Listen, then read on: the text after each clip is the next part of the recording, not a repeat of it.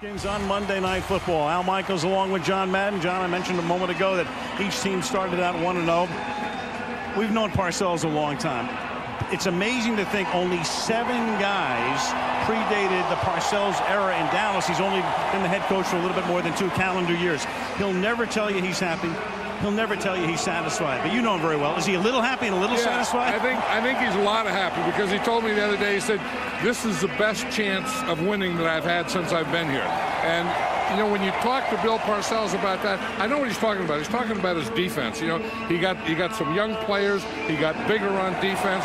He got some better corners, and now he's playing that that three-man line. You know, that's what Bill Parcells is. Last year they were a four-man line. They went to a three-man line, and now this is a Bill Parcells team and a Bill Parcells defense. With Washington, we'll be talking about the quarterback switch all night long, but already they've gone from Patrick Ramsey to start the season to Mark Brunell as the new starter. Your thoughts on that? Well, you know, Patrick Ramsey was injured last week, and then Mark Brunell came in. And I think that Joe Gibbs just felt comfortable with Mark Brunell. Brunell felt comfortable, so Joe Gibbs said, that's the way that I'm going to go. I talked to Joe before the game, and he said, look, I don't want to blame Patrick Ramsey for our offensive problem. He said, I just want one of these guys to take over the job. That was one of the shortest leashes in history. To be continued. Back at Texas Stadium, our great pal and colleague Michelle Tafoya is now officially on maternity leave.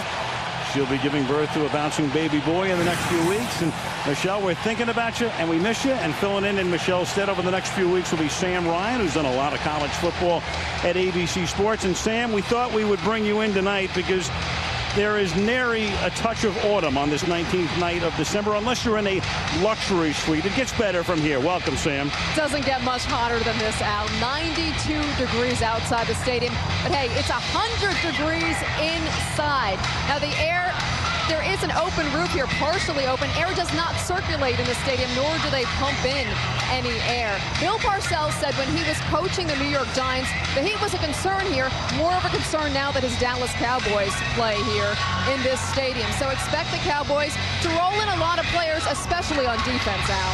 And they did that last week, Sam, with great effectiveness. If I, if I said December, John, I meant September. Obviously, it's been a long season, but maybe it might feel like December, but it's it feels like There's the middle no of July right now. feels anything like December, I'll tell no, you that. Not at all. And in this stadium with the hole in the roof, there's no circulation in here. It's very still and very hot, obviously, as here we go, the end of week number two. Tyson Thompson, a great-looking rookie out of San Jose State, maybe the fastest guy on the team. Nick Novak just signed as a kicker because John Hall is hurt to put it in the air. And the Cowboys will take it from the seven-yard line. And the rookie Tyson Thompson who had his moments in preseason, brings it out to the 30. That may be my favorite introduction. Al Johnson, Wisconsin. From the 30-yard line, here is Julius Jones. Picks up a couple. It'll be second down and eight. Defense held the Bears to one touchdown last week. Was one of the most potent in the NFL last year. Bledsoe, quick toss out to the right side. Caught by Terry Glenn. Glenn escaping a couple of would-be tackles and is tackled at the 39-yard line. Shawn Springs was one guy who almost got him down but couldn't. It'll be third and short. You know, one of the interesting matchups is going to be Gregg Williams, the defensive coordinator of the Washington Redskins, against Drew Bledsoe, who he he he played for when Gregg Williams was a head coach of the Buffalo Bills. And you know, and Drew says that he knows Gregg Williams. He knows what he's going to do. And Gregg Williams says, I knew, I know Drew Bledsoe, and I know what we have to do against him. That's the internal chess match tonight on third down and one. Bledsoe spent three years at Buffalo, two of those under Williams. And they're going to go to the air on play action, and that is caught by the tight end, Brett Pierce the second tight end. And number one guy is Jason Witten. Actually, he'd be third behind Dan Campbell. So on third and one, a little fake to the back, and then a pass for a first down. I'll tell you, that was a great call. The Washington Redskins go into five defensive linemen. That's their short yardage. And then they bootleg, so they fake to the left. Drew Bledsoe comes out to the right. That fake of the run to the left took all the linebackers to that side and the five defensive linemen, and they were able to get out to this side. Pearson, his second season with the Cowboys, that's his first reception, first of his career from the 49-yard line on first down. Jones. Gain of three, and John, the thing with that play call is Sean Payton is going to call the plays for Dallas, assistant head coach and the quarterback's coach, and there he is behind the cart. It had always been a sign of mystery with Parcells through the years. Who's calling the plays? And he'd never give it up. And then finally, a couple of weeks ago, he said, Payton's the guy. He'll call the plays. He does it better than I do. Yeah, that's that's a part of it that surprised me is that Bill Parcells uh, admitted that, that Sean Payton is a better play caller. And I think I think because that's all he has to do. When you're the head coach, you have to do everything else plus that. On second and seven with four wideouts in this set, the catch is made, and that'll be enough for a first down as Terry Glenn makes his second catch and rolls out at about the 40-yard line. That'll move the chains for Dallas. Gregg Williams thinks that you spot rush him because he's always going to be in the pocket on a spot. Bill Parcells and Sean Payton are saying, no, we're not. And Drew doesn't have a lot of mobility, has been sacked over 400 times in his career. This time, a conventional drop back. Great protection, but the pass is too high. And Glenn turns around and says, give me a flag. And there is a flag back up at the 28-yard line. That's Walt Harris, who grabbed him at about the 28-yard line, and the penalty will be on the left corner for Washington. I think when Walt Harris Illegal contact him, on the defense, number 27. Five-yard penalty, automatic, first down. I think that just threw the timing out because had he not grabbed him, that could have been a wide open play. Here he is. Here's Walt Harris right here. And you're going to see him come down. And that's a double move. He was going to go in and up. As he goes in, Harris starts to bite on it. Then as he goes up, he had to grab him or Glenn would have been wide open. Harris back in 96, Chicago's number one draft choice. So a first down at the 35-yard line opening drive of the game.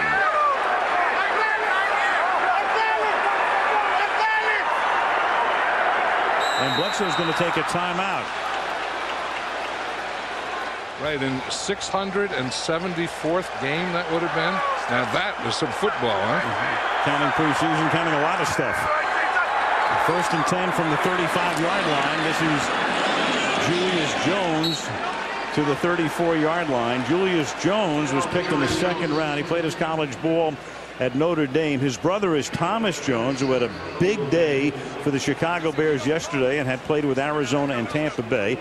And the Cowboys liked him. Parcells took a, a, long look at him. He was hurt the first part of last season, but once he got healthy, he was tremendous in the second half of the year, including a fabulous Monday night game at Seattle in December. Well, how about a, a three-week period there where in three games he carried the ball over 30 times in each game? They found out about him in a hurry and, and, and carried with great effectiveness in those three games. Mom and Dad, Thomas and Betty are here. how about proud parents? Wow. Well, Thomas Jones had the second best rushing day in the league yesterday. Only Shaun Alexander of the Seahawks rushed for more yardage. Third, third and six, and here's the blitz. And they give it to Jones, and they exploit that blitz as Julius takes it to the 21-yard line. Yeah, and that's a pretty good idea because Gregg Williams knows that Drew Bledsoe is going to be in the pocket or he thinks he's going to be in the pocket. So instead of rushing from the edges, he wants to rush up the middle. So what the Cowboys do is they let him rush off up the middle and then they, they just wait off that inside and run the ball off tackle. And that was very costly as you watch the folks clapping from the stands because Pierson Prioleau was the guy who was blitzing and he has pulled up holding his hamstring.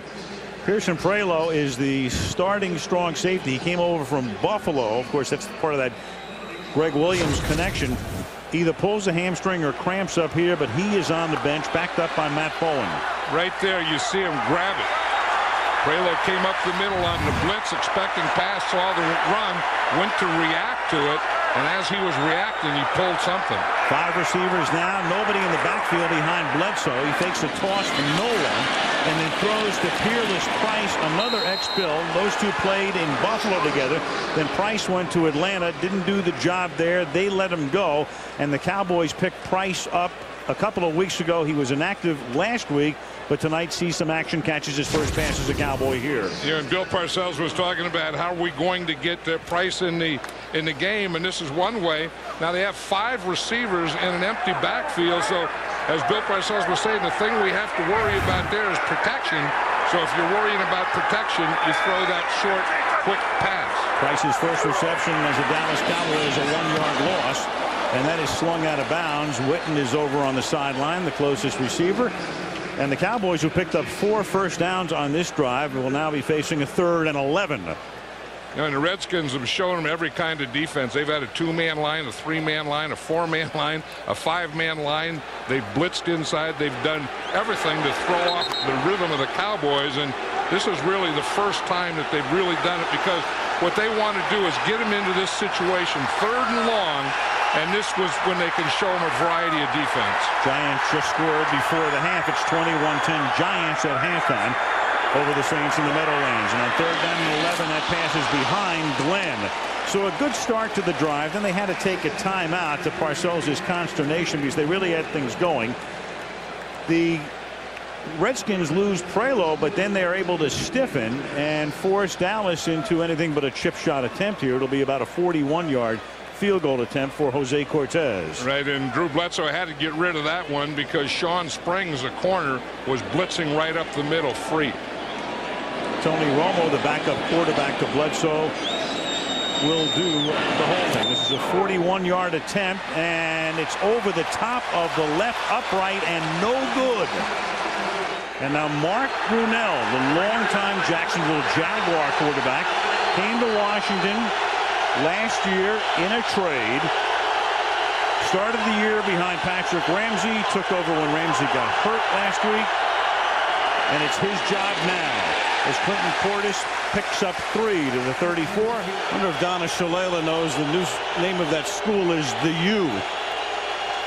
University of Miami, second down and six. And this is Portis to the outside, and he gets taken down by the neck Henry had a big game last week against San Diego, picked him up after he had been a Cleveland Brown over the last few years. And Brunell then throws, and the pass is caught by James Thrash as they convert on the third and two, get it down to the Dallas 43-yard line. Terrence Newman with the coverage on the play. Yeah, there's a guy Joe Gibbs has a lot of confidence in, and probably Mark Brunell also is James Thrash. And in fact, his nickname is Full Go. I mean, he's one of those guys that, you know, practice game. He only knows one way, and it's full go.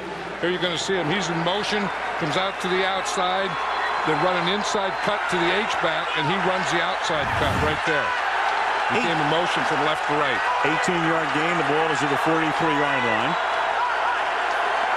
Chris Cooley was the man in motion. John, H-back is a term that's coming back into vogue. We were talking to Joe Gibbs. He kind of created that situation last night, though he gives some of the credit to, to I think, to Don Coryell. Exactly. Define the an H-back. Well, it's really the second tight end that does all the movement. Usually isn't on the line of scrimmage. You have a, a tight end, then you have an H-back. Now you take Cooley as the H-back, and he can line up at tight end. He can line up in as a slot. He can line up in the backfield. He can line up in a wing. But it's to balance your offense. Second down and nine. Brunell under pressure gets it away, and then is caught by the tight end Robert Royal, who stopped a yard shy of the first down, and Roy Williams on the safety blitz leveled Brunell as he got it away. Yeah, you look over there, that's the old Redskin thing, the bunch right. Look at them, they have everything over here. This is where their receivers are. Here comes Roy Williams to that side because they know they're getting a bunch release. Mark Brunell was looking to throw that way, so even though he's a left-hander, that becomes his front side. Third down and one from the 34-yard line. And it's flipped back to Clinton Portis, and he will get the first down as he takes it to the 30-yard line. I'll guarantee you that wasn't a play. Uh -uh. That was a fouled up play. I have no idea what the heck it was, but Mark Brunell did a pretty good job with it. And of course, Clinton Portis did because he gets a first down. You see, he kind of fumbled the handoff there. Then, then I think he was probably supposed to flip it out there, and then it was too late, so he just threw it out. Watch him. He kind of fumbles it, goes to the left, and says, I have to get that ball out of my hands and get it in Clinton Portis's hands. And La'Roi Glover was diving over the center. Now Ladell Betts comes into the game in the backfield. Who are now throwing for the end zone, is knocked down at the last moment by Anthony Henry. The ball floated. Santana Moss had gotten position. He'd gotten behind Henry, but Henry is there to break it up, and that will be Brunell's first incomplete pass. Yeah, it, it, it looked like he was going to get Anthony Henry. He gives him a pump, and right here, Santana Moss has him by a couple steps. Brunell just throws that one a little short. Had he gotten that one out there, a good pump, now had he put a little more on it, gotten it out there a little more, that would have been a touchdown. Second and 10 from the 29-yard line. Brunell, who used to run with great effectiveness, this time is forced to run and is out of bounds. In fact, Brunell leading the league in passing yardage and in rushing yardage for quarterbacks back in 96. And and you always played Mark uh, Brunell a lot like they play Michael Vick now. You always played him to run to the left because usually the running game would be to the right and then he would bootleg or play action to the left. Third down and eight. This drive started at the Washington 31-yard line. Brunell out of the shotgun, a formation Washington did not use at all last year. And maybe that's one of the reasons. Brunell loves the shotgun, but Dat Nguyen was able to blitz. They did not run a single play out of the shotgun last year, and their first play this year is that. You see, it was not only a, a, a, blitz, but it was a stunt.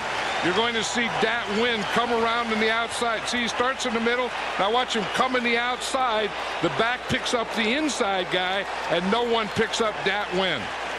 You know, Mark Brunell can't be looking at a stunt in front of him. He has to be looking upfield. 12-yard sack. That forces a punt instead of a long field goal. Andy Groom, first-year player out of Ohio State, took over when Tom Tupa was third in training camp. And he will deaden that one at about the 12-yard line. They'll down it at the 14. From the 14-yard line, Dallas begins this drive with 4.25 left in the period. Julius Jones swings to the outside, breaks a tackle, and then picks up nine yards. Lemar Marshall couldn't get him down in the backfield. Let's get a report on Prioleau as we go down to Sam Ryan. Well, Al, you mentioned Prioleau played for Gregg Williams in Buffalo. This is his first year with the Washington Redskins, and he's already out of the game. The news is not good for him. He has a pulled right hamstring. That was suffered on the first Dallas series. After he pulled it, you could see he grabbed his leg almost as, he, as he, if he knew right away. They are icing it right now, but the word is that he is done for the game, Al. So Prioleau finish. That means Matt Bowen will see most of the action at strong safety. Number 41, it's second down and short here. And they give it to Jones, who can move to the outside. He can take it through the inside. He can catch passes. And, you know, you're never going to make a guy a star after a half season, but you're looking at a guy who you think is an emerging star. He's right there. Well, and then when you meet him, you really like him. I mean, he's one of those bright-eyed guys, you know, always has a bounce in his walk, and you know, he's happy. And, and he just looks like a guy that is very, very anxious to please Bill Parcells. And tonight, if he can gain 88 yards rushing, he'll go over 1,000 for his first 10 games. We'll show you in a little while. That is a very elite and illustrious company if he joins that fraternity. Takes a swing pass here, and that's a great open field tackle. Walt Harris coming up and saying, hey, kid, you know, you're in your second year. I'm in my 10th. I've seen that move before. You know, and that's one of the things that the Cowboys are trying to do more with Julius Jones is get him involved in the passing game. And, uh, you know, because last year was just kind of and if they were going to throw the ball, they would throw it to other guys. But they want him to be the running back and pass receiver. And have you noticed that there hasn't been a fullback in there for the Cowboys? They don't have one active no, tonight. they don't have one active. That's the reason. They they have tight ends have been back there. Jason Witten has been in the backfield, and Dan Campbell has been back there. Now, of course, they just have one back. That's a trend that may become league-wide over the next couple of years. On second down and 12. Short carry for Jones. We we're talking about Julius, and if he can gain 88 tonight. Take a look at this. Those are the guys who have gained 1,000 yards in their first 10 games. Only four of them. Dickerson, Rogers, Edgerrin James, Ottis Anderson. That's good company. So what it proves in a way is that if you do that, you're not a flash in the pan. Each of those guys with great careers, and of course James still going. You know, the other thing that it proves is probably the easiest position to come in and adapt to is running the ball in the NFL. Double slot to the right. Shotgun here. Bledsoe third down and eight. Throws over the middle. And that's caught but shy of the first down as Shawn Springs made sure Jason Witten doesn't get the first down and Dallas is forced to punt. Yeah, that's one thing that, that really impresses me with these Washington Redskin corners is that they're good tacklers. On the play before, we saw Walt Harris make a, a good open field tackle. And then on that one, Shawn Springs make a good open field tackle. And that's, you know, they talk about cover corners and I remember, you know, someone said, yeah, um, if you're going to be a cover corner, the first thing you have to do is cover the run. And there's a lot of truth in that. And these two corners do play the run very well. Cover everything. Mat McBriar, Australia plays college ball in Hawaii, gets that one away. And that's fielded inside the 25-yard line by Thrash. First and 10. Redskins at the 36, scoreless first quarter. And we begin here at Clinton Portis going absolutely nowhere running into Jason Ferguson picked up used to play with the Jets played for Parcells there and Ferguson the nose tackle is right there to make the stop. Well you know we talked about how they're they're they're putting in deep different defensive guys. Here's Ferguson right here. He comes in with two rookie defensive ends, and, and he is a bigger, stronger guy than Roy Glover. He is a guy that can really handle that run. Now here's another guy who's pretty good against everything. That's 94, DeMarcus Ware. Drafted Ware out of Troy in the first round. We have full start here against full start Washington. offense number 47. Five-yard penalty, still second down. That's Chris Cooley. Bill Parcells talking about rolling in, rotating his defensive line. Exactly what he's doing. He did in San Diego last week. And it's really essential to do it on a night when the, the temperature is more. It was up to 99 in Irving today, and right now it's down to the low 90s. Right, you saw number 99. That's that's Chris Canty. He is going to be a good one. And the other end is Marcus Spears, 96. Second and 16. Here's Brunell out of the shotgun. Slings it to the outside. It's intercepted by Newman at the 40-yard line. And Newman will set Dallas up in great field position at the beginning of the second quarter because that's the play that ends the first period.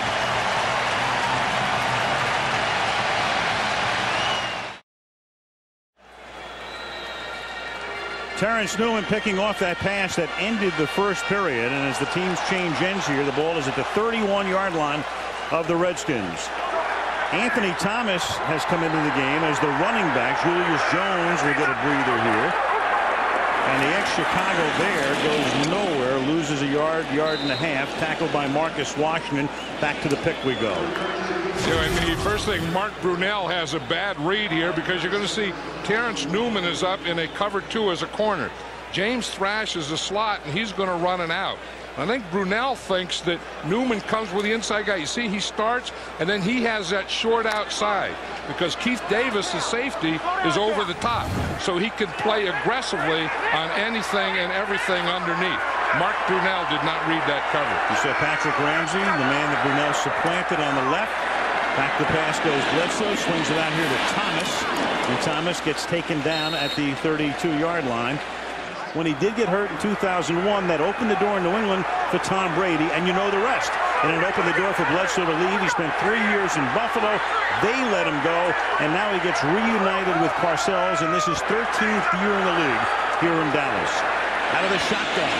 Bledsoe throws, and that's caught for a first down by Keyshawn Johnson, coming off a big game against the Chargers last Sunday. You see what they did is they got in shotgun. Now, Bill Parcells knows. That's the first thing he told me. He said, if, if Bledsoe's going to have any success, we have to protect him.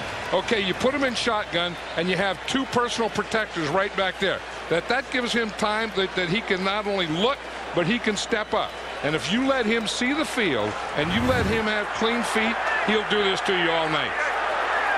16-yard gain. The ball is at the 15-yard line. Bledsoe has started 8 of 10 for 43 yards. The fake to Thomas. That buys time. Then Bledsoe has to throw underneath and goes back to Thomas, who takes it to the 11-yard line, about five shy of the first. Warwick Holdman, the linebacker, 57, makes the stop. You know, if there's been any any problem with Drew Bledsoe over the years, it's a you know he's a real tough guy, and, and he'll he'll he's a pocket passer, and he'll hang in that pocket. And sometimes he holds the ball a little too long. And, and I know the coaches are always saying, get rid of it. Get the ball out of there. Don't hold the ball. And, but he still wants to make that completion and hold it as long as he can to get a completion. Last week, as you saw, they were perfect. Four touchdowns on four trips into the red zone. They're in the red zone right now, and they give the ball to Thomas again. He takes it to the 10. That's going to set up a third and four. Marcus Washington in on the stop. Yeah, I'm really impressed with the way the Cowboys are calling the plays tonight. Sean Payton really has a great mixture because you know Gregg Williams is one of these guys that wants to get you in long yardage and then come after you. Sean Payton hasn't let him do that. You know, and then when he's going to pass, he's given him maximum protection, and he hasn't let him. You know, he hasn't let him get to Drew Bledsoe. And great balance so far. Dallas 10 runs, 11 passes. They've already run 21 plays. And we're only 18 minutes into the game. This is the time they like to go to Keyshawn Johnson. Oh, he was looking at him, too. And a whistle before the snap on third down and four as he looked that way. I think Keyshawn Johnson was going to run, a, run an option. number 62. Five-yard penalty, still third down. Marco Rivera, formerly with Green Bay, and uh, they picked him up in the offseason. Big acquisition for Parcells. You know, I think the closer you get to the goal line, the more effective Keyshawn Johnson is because – he doesn't have to be wide open. And you see Bledsoe was looking out there. There's only one receiver out there to the left, and Keyshawn Johnson was running a type of an option. Now they have a different pattern. This is one where they have four wide receivers, one tight end, empty backfield. On third down and nine from the 15-yard line. And Bledsoe throwing too far for Keyshawn Johnson. But you know, it's funny, John, you, you, look at the way Dallas has run things tonight, and you can tell it's a different type of play calling, and maybe you do go back to Sean Payton giving them a different look from a Parcells team. Well, that's I think that's the reason that he's calling these plays, too, because he, he does have a different thing, and this is what you try to do to Keyshawn Johnson. You just try and get him in the back of the end zone and get a jump ball, but – you know, you always scout the play caller. You know, years ago it used to be scout the quarterback and his tendencies, and then it became whoever the play caller is, you now scout him and his tendencies. 33-yard attempt for Jose Cortez. He retired tonight. Their names will be put up in the ring of honor.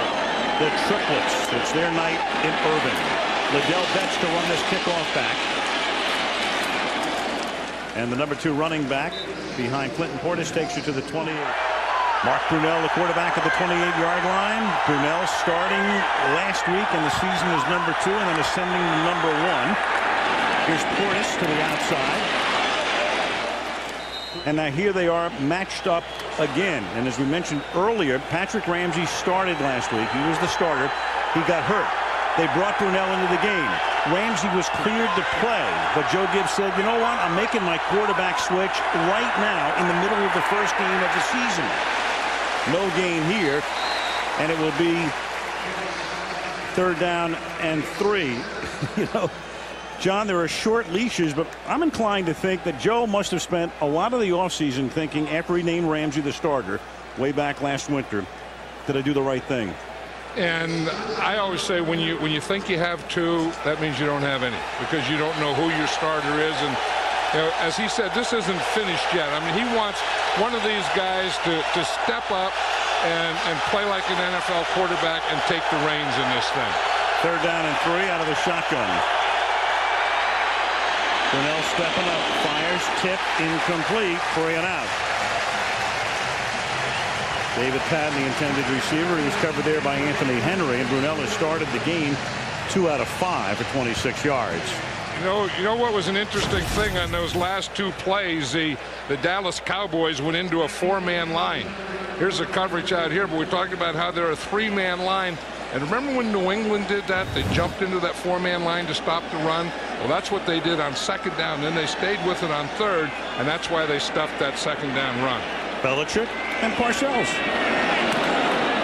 Andy Groom to punt.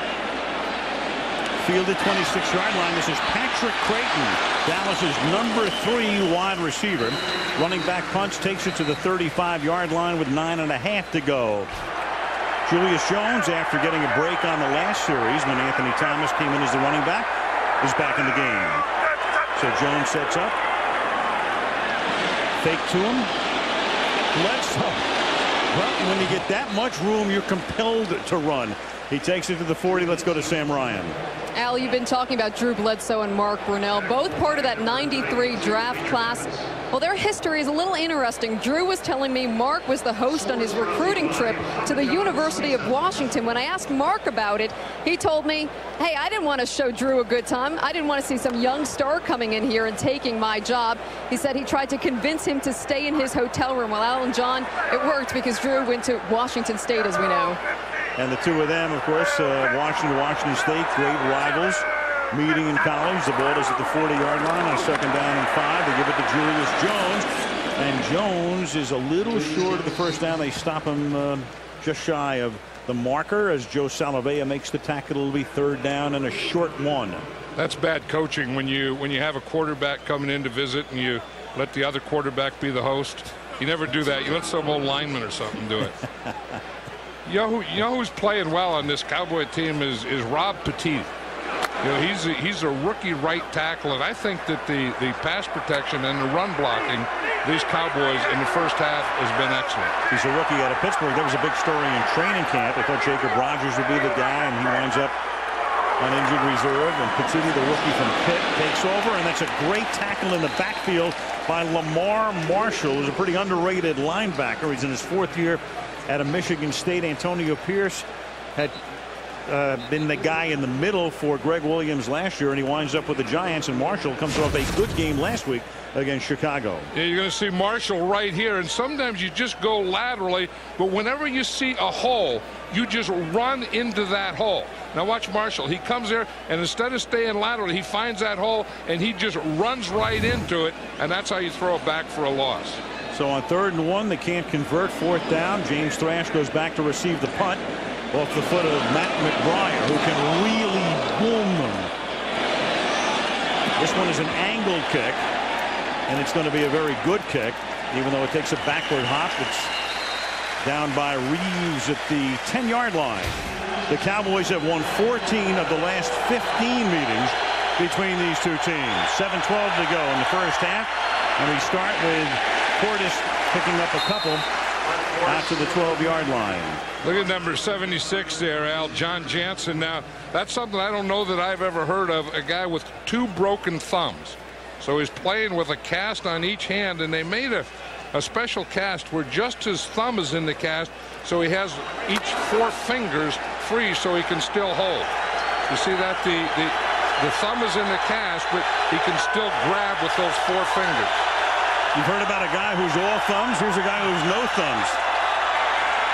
Brunell to the outside. That's caught. A little short of the first down. Royal gets bounced out of bounds. Two thumbs down, two thumbs up. John and I will be here all week. We're just going to play in the lounge, not the, not the main room.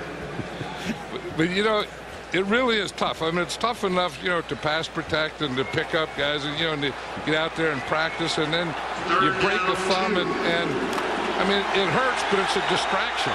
And then you break another thumb, and then you double your distraction, but you still have to block your guy, pick up blitzes, do all these things. They're rotating their defensive linemen against you, but you have to play. And he's back after a torn Achilles suffered in the first preseason game last year. And Brunell converts on third down, hitting James Thrash. Short pass there, but enough for a first down. First and 10. Here's Sam again. Hello, you were talking about those casts that John Jansen is wearing on both of those thumbs. These are carbon fiber casts. They're really lightweight. He told me they took molds of his hands last week on Tuesday, the position that he wanted his hands during the games. His wrists and thumbs are supported, yet he does have movement of those other four fingers in each hand. The cast, he didn't get them till Friday. The one thing he told me is difficult to do outside of football, tying his shoes. Think about that. He said he's all fingers. Man, are those bizarre looking from the 22-yard line. Short pass over the middle. It's caught by Clinton Portis. It's a gain of about five to the 27. Joe Gibbs comes back to coaching. John and I, of course, we talked about this a lot last year. 64 years old, coached 12 years, retired for 11, though he stayed very active, running a, a tremendous NASCAR operation. And then he comes back last year, and of course, the town was just electric when it was announced that Joe Gibbs was coming back. I asked Joe last night, how was that first year? And he said, well, it was real good six times. Not very good the other 10. You know, and that's what it is. You know, when when you've been coaching as long as Joe Gibbs has, and Bill Parcells, and you know Joe Gibbs is in the Hall of Fame, and and you know you win so much that you really expect to win. So when you win, that's what you're supposed to do, and and you don't really get the high of winning but the loss of losing, because you don't expect to lose, and then you lose, I mean, that just eats your guts out. Yeah, and that's what Parcells said. He said winning's about the same, but when we were talking to Bill a couple of weeks ago in Seattle, he says losing's worse than ever. Yeah, and and winning winning is kind of lessened, I think. I mean, I, I don't think the wins are as big. Brunell throws a little high. Gibbs, by the way, told us last night that he's going to be a grandfather again. That will be seven grandchildren for Joe. So we asked him, so what do they call you? They call you grandpa, they call you gramps, they call you pop pop. You know what they call him? Coach. I think when you're a Hall of Fame coach, that's the first words out of a baby's mouth. Number 66, 10-yard penalty. Repeat first down. Derek Dockery. I don't know how that can be the first thing that they, I mean, it, it's always like power or something that has to do with that. But coach, Joe Gibbs. That's what they call him. Three Super Bowl titles. Well, these two rookie defensive ends again in for the Cowboys. That's, Bill Parcells has 22 players active on defense tonight because he wants to roll them. First and 20 after the penalty inside and paying the price. Santana Moss. They got him from the Jets. Laveranues Coles have been with Washington, and they sent Coles back to the Jets and got Moss, and they think Moss can make some big plays, but not here. The big play was made by Dat Nguyen. And that was a wide receiver screen is what it was. You see Moss out here. See, he starts up, then he comes back. Then you, then, then you get your H back and your tackle out there to block for him. But Dat Nguyen blew the whole thing up before the screen was able to develop. So Moss's first catch of the night is a one-yard loss, second and 21. Very fast first half, 3.45 to go. Ladell Betts is in as the running back. They send him out into the pattern, and Brunell will go to him on the sideline. He gets taken out by Anthony Henry up at the 28-yard line, and that will set up a third down and 15. You know, one of the one of the new young players for this Cowboys that is really going to be a good one is DeMarcus Ware, number 94 there, because he can use his hands and feet at the same time, and you know, you know not have to stop to use his hands. But on that one there, Chris Samuels did a good job of blocking him. But DeMarcus Ware, I mean, he's going to be the Lawrence Taylor type of guy in Bill Parcells' defense. What a great fit he figures to be. Played his college football at Troy in Alabama. There he is. He gets picked up by Betts. But Brunell is going to get sacked anyway from the other side because you've got Greg Ellis coming in, the first guy to hit him. And then Marcus Spears, who was the other first-round draft choice, in addition to Ware, the second guy to hit him. You know, and I think that's that's the reason that Bill Parcells is so happy. You know, we talked about, you know, you know, it's it's his defense, it's his guys. He has young guys, and we and we see Demarcus Ware come from the outside, and right inside of him is Marcus Spears. These guys are going to just improve and get better and better and better and be good for a long time. So it's fourth and 26 as Groom comes into punt. And that's out of bounds from the 37-yard line, 242 to the half. The Cowboys begin. Remember when that used to be illegal when the quarterback put his hands underneath, he couldn't bring them out? Right. Bledsoe throws. And Jones makes the catch, but smelling that one out perfectly is Marcus Washington, the former Colt, six year now out of Auburn. He had a big year last year for the Redskins. In fact, he was the only Redskin player to play in the Pro Bowl. No huddle here. First time tonight that Dallas has attempted this. They have the two-minute warning plus two timeouts. Second down and six. From that stretch play, and Jones, as he turns it back upfield, gets taken down there by Cornelius Griffin, and that's going to take us to the two-minute warning. Two minutes to go. Two timeouts for Dallas. Third down and three. Third down and three, and they come up with Terry Glenn set in the backfield. Stack two receivers to the left.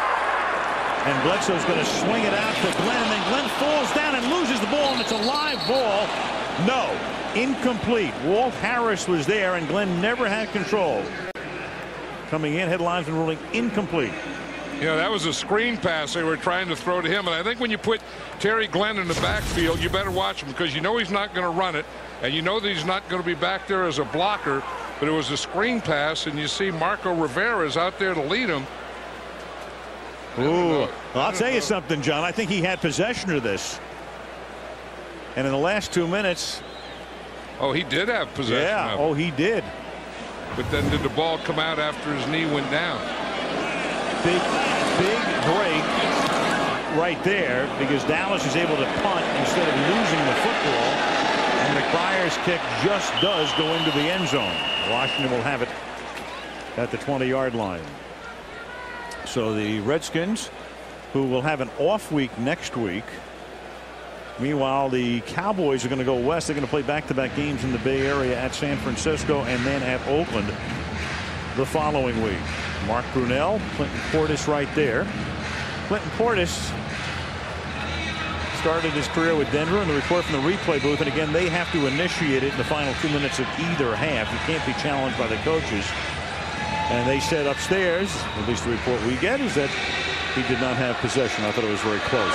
Isn't this a, a fast a fast first half? About as quick as it can be. There have only been four total penalties. Right, and six incomplete passes. Right. And 24 runs. I mean, you know, both of these teams feel that they have to run the ball or establish a run. Brunell out of the shotgun. And that pass is caught on the outside, and it's caught there by Clinton Portis, and he gets tackled. And of course, we mentioned before that Joe Gibbs did not employ the shotgun one time last year. But we were talking to Mark Brunell last night. He said, I love it. Yeah, I asked Joe Gibbs what made him change, and he said, because on offense we stunk last year. That'll do it. They only scored 15 points a game, second worst in the league to Chicago.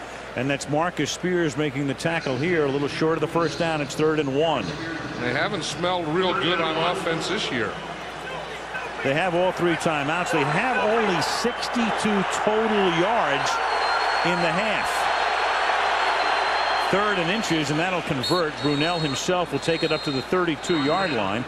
And we're under a minute, and they will take their first timeout. Jerry Jones is uh, very active in anything that goes on in the NFL, and, and for the good. I mean, he is good for the league. And you're wondering what he's down on the field at the end of the first half. Remember, they have the halftime ceremony with Aikman and Irvin and Emmitt Smith, and you've got a whistle here for a false start before the snap. And you wonder when they're going False to start offense number 60. Five-yard penalty, still first down. a deep one to Santana Moss. I mean, that's that's the reason they got Santana Moss. And Joe Gibbs was talking about that. You know that we didn't get any big plays. We need a big play guy, and I think well to get a big play out of a big play guy, you have to try it. And I think they threw him a screen pass or whatever. I mean, so, somewhere.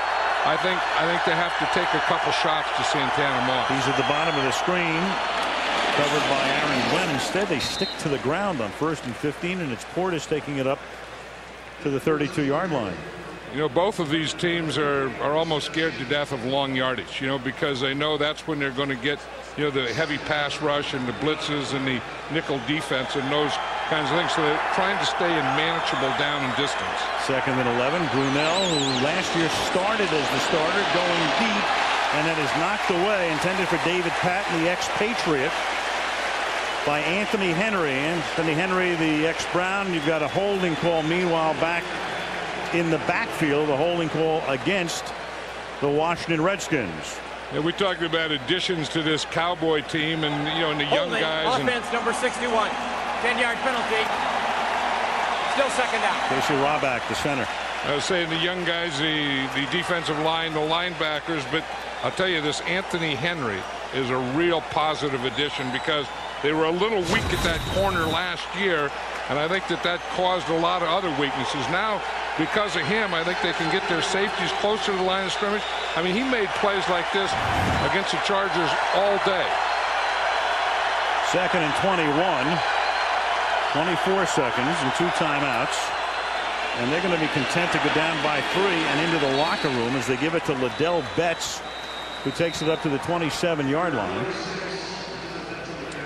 You know, you don't know if we're seeing here in this first half, if we're seeing great defense or just conservative offense. A little of both, maybe. Yeah, I think. I, think, I mean, the the tackling has been excellent. I Dallas. think the play calling has been a little conservative, especially on the Redskins side. Dallas took that time out. They have a chance to get the ball back.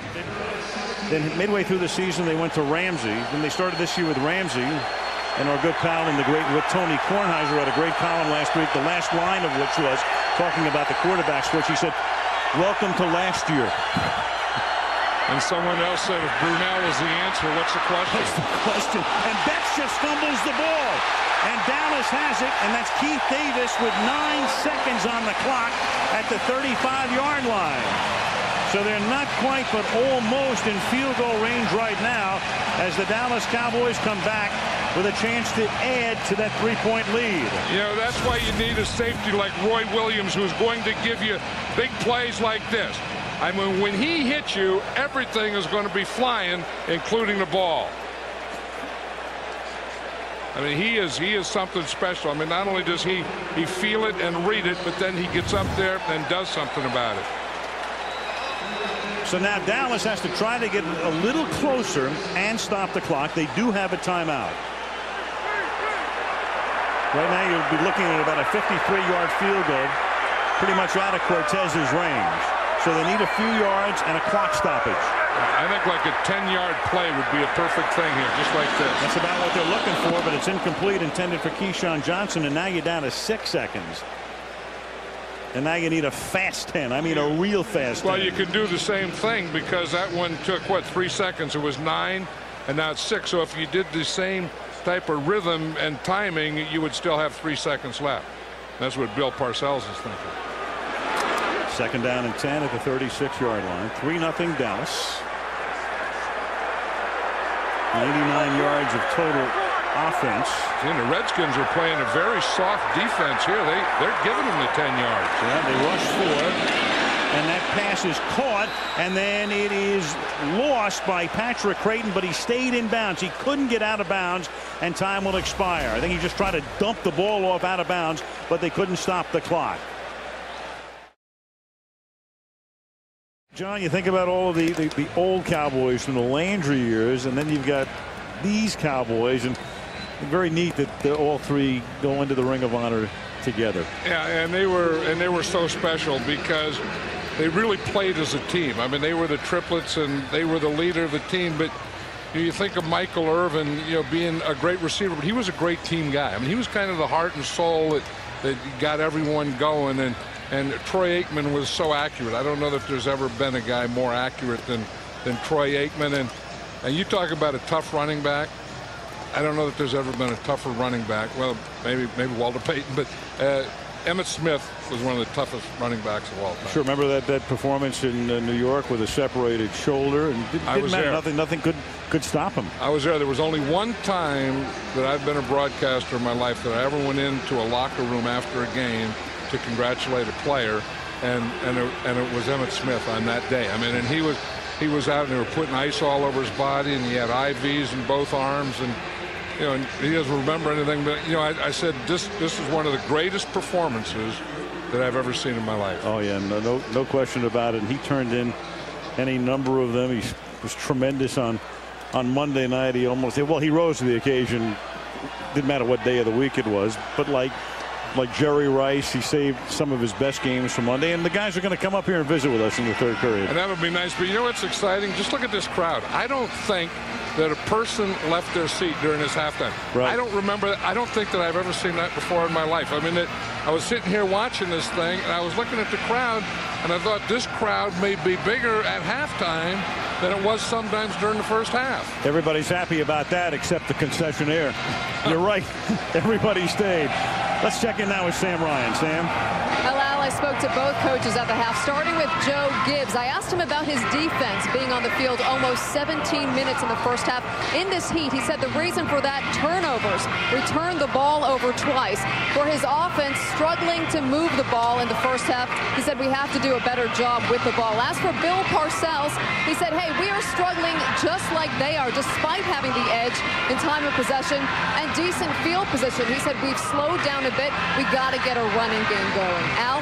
Yeah, that's a good point in the sense that uh, you think of Julius Jones as their stud out of the backfield. He's carried 11 times for 42 yards. On the other side, you've got Clinton Portis, nine carries for 31 yards. You only had 104 yards of total offense for Dallas and 85 yards, John, for Washington. And, and I think, you know, part of it is, is real good defense by both teams. And another part of it has to be this heat. I mean, it, it, you know, you know, it's tough. It's tough to play. It's tough to play full speed. It's tough to do all those big things that you want to do. I mean, I think maybe the first team that makes a big play is going to win this thing, and maybe the first team that tries to make a big play may get the big play and win this thing. Has that feel? It was 99 degrees this afternoon in Irving, Texas, and right now, well, it's cooled off to I don't know, at 91. Yeah, but down in the field, yeah. look at it. It's 100 degrees down in the field. Yep. Any way you look at it. And you, as a lineman, you know, they say, you know, good weather for this. This, this is a lineman's hell. Cortez kicks off. It's fielded by Ladell Betts at the goal line. And what a smack he takes. Up at the 13-yard line from Brett Pierce, who caught the first pass of the night for Dallas in the first quarter. Numbers, rushing yards, about even. Passing yards, Cowboys with 57, but that's 24 more than the Redskins. Talked about total yardage and the turnovers. That second turnover did not hurt the Redskins because it came at the end of the first half and Dallas couldn't capitalize it. First one led to the field goal. 3 0 from the 18. Mark Brunell who is 9 out of 12. But for only 56 yards, and we'll start with Portis. Reversing direction, tackled up at the 20-yard line, gain of a couple. It'll be second down and eight. His numbers were pretty good compositely, but his yards per carry average was way off last season. He didn't look like the same guy at Washington as he was at Denver. Second and eight, they fake it to him, and then Brunell throws out to the left side. And that's caught by Robert Royal. You go back and you take a look at what Portis did with Denver in his first year there. 2002, 1,500 yards, and then 1,591 in 2003. You see how many more times he carried the ball, though, last year? 343 carries for only 13, 15. Only player in NFL history, a year-to-year -year increase of 50 or more carries, but 100 yards less rushing. It was a totally different type of offensive line, the Denver Broncos, and the types of things they do, and the types of things the Redskin offensive line does. Third and three, and Brunell rolling to his right, throwing, and that pass is incomplete. Going down to the ground to try to get it was Santana Moss, who's been limited to one catch in the game for no net yards. And that's one that they should have had there. I mean, that's that's the thing that you try and do when a when a guy is running a sideline or comeback, you try and lead him back. And Santana Moss has to come back and get that one. I think Mark Brunell threw it exactly where it had to go. This will be Andy Groom's fourth punt of the game. And it's a very short one. That's going to sit Dallas up in pretty good position, except he does get a decent bounce, and then Crayton runs it back. And there's a hit at the end of the play, or at least the crowd thinks there was at the 40 yard line, but there is no flag. And Dallas will take over at about that spot. Cowboys start track tonight as we take a look at Bledsoe. 16 attempts, 57 yards. So he's averaging less than four yards per attempt. Jones is averaging 3.8 per carry. And Glenn would be their number one receiver. Seven different Cowboys have caught passes tonight. But Terry two for 14 yards. Cowboys are changing their center now. Andre Gurode is in there. He's a bigger, stronger guy than Al Johnson. Gurode moved over from guard where he played last year. And Jones is able to break one, but a flag is down, and maybe that's the reason he was able to break one as he picks up 14 pending the call from the referee Larry Nemmers. If you're going to break one, that's where you're going to break it on the left side because that offensive line, Flozell Adams and Larry Allen number 76. 10 yard penalty. Repeat first down. Adams. Are so good, and, and Flozell Adams is so good at holding. yeah. You know, that offensive line, I was watching them the other day in practice, and they look better than I've ever seen them. Here's Flozell Adams here. And you say, holy moly, that's a pancake. You got to let a guy do that. Yeah. Did you see what he did? Yeah. I mean, he just got his hands inside, boom, just put him right in the ground. The heck is wrong with that? Yeah, and that's why Adams was arguing the call. He says, what do I have to do? Oh no, that's a block. That's that's what I mean. You live for those things. First and 20. With a toss back to Bledsoe from Jones. And out in front is Terry Glenn for the touchdown.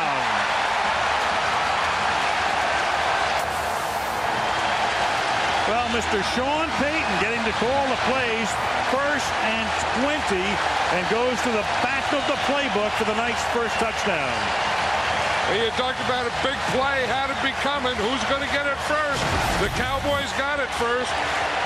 Hands off here to Julius Jones. He pitches back to, to the old flea flicker. Terry Glenn is behind everyone, and Drew Bledsoe makes a perfect throw. That's what you get when you, you get a guy like Sean Taylor, the safety there. He's a very, very aggressive guy, number 21. He is going to take a little bite on any run action. He bit, so did Shawn Springs. Cortez converts. There's a number you can donate by calling that number NFL Hurricane Relief Weekend. Drew Bledsoe and Terry Glenn played together in New England.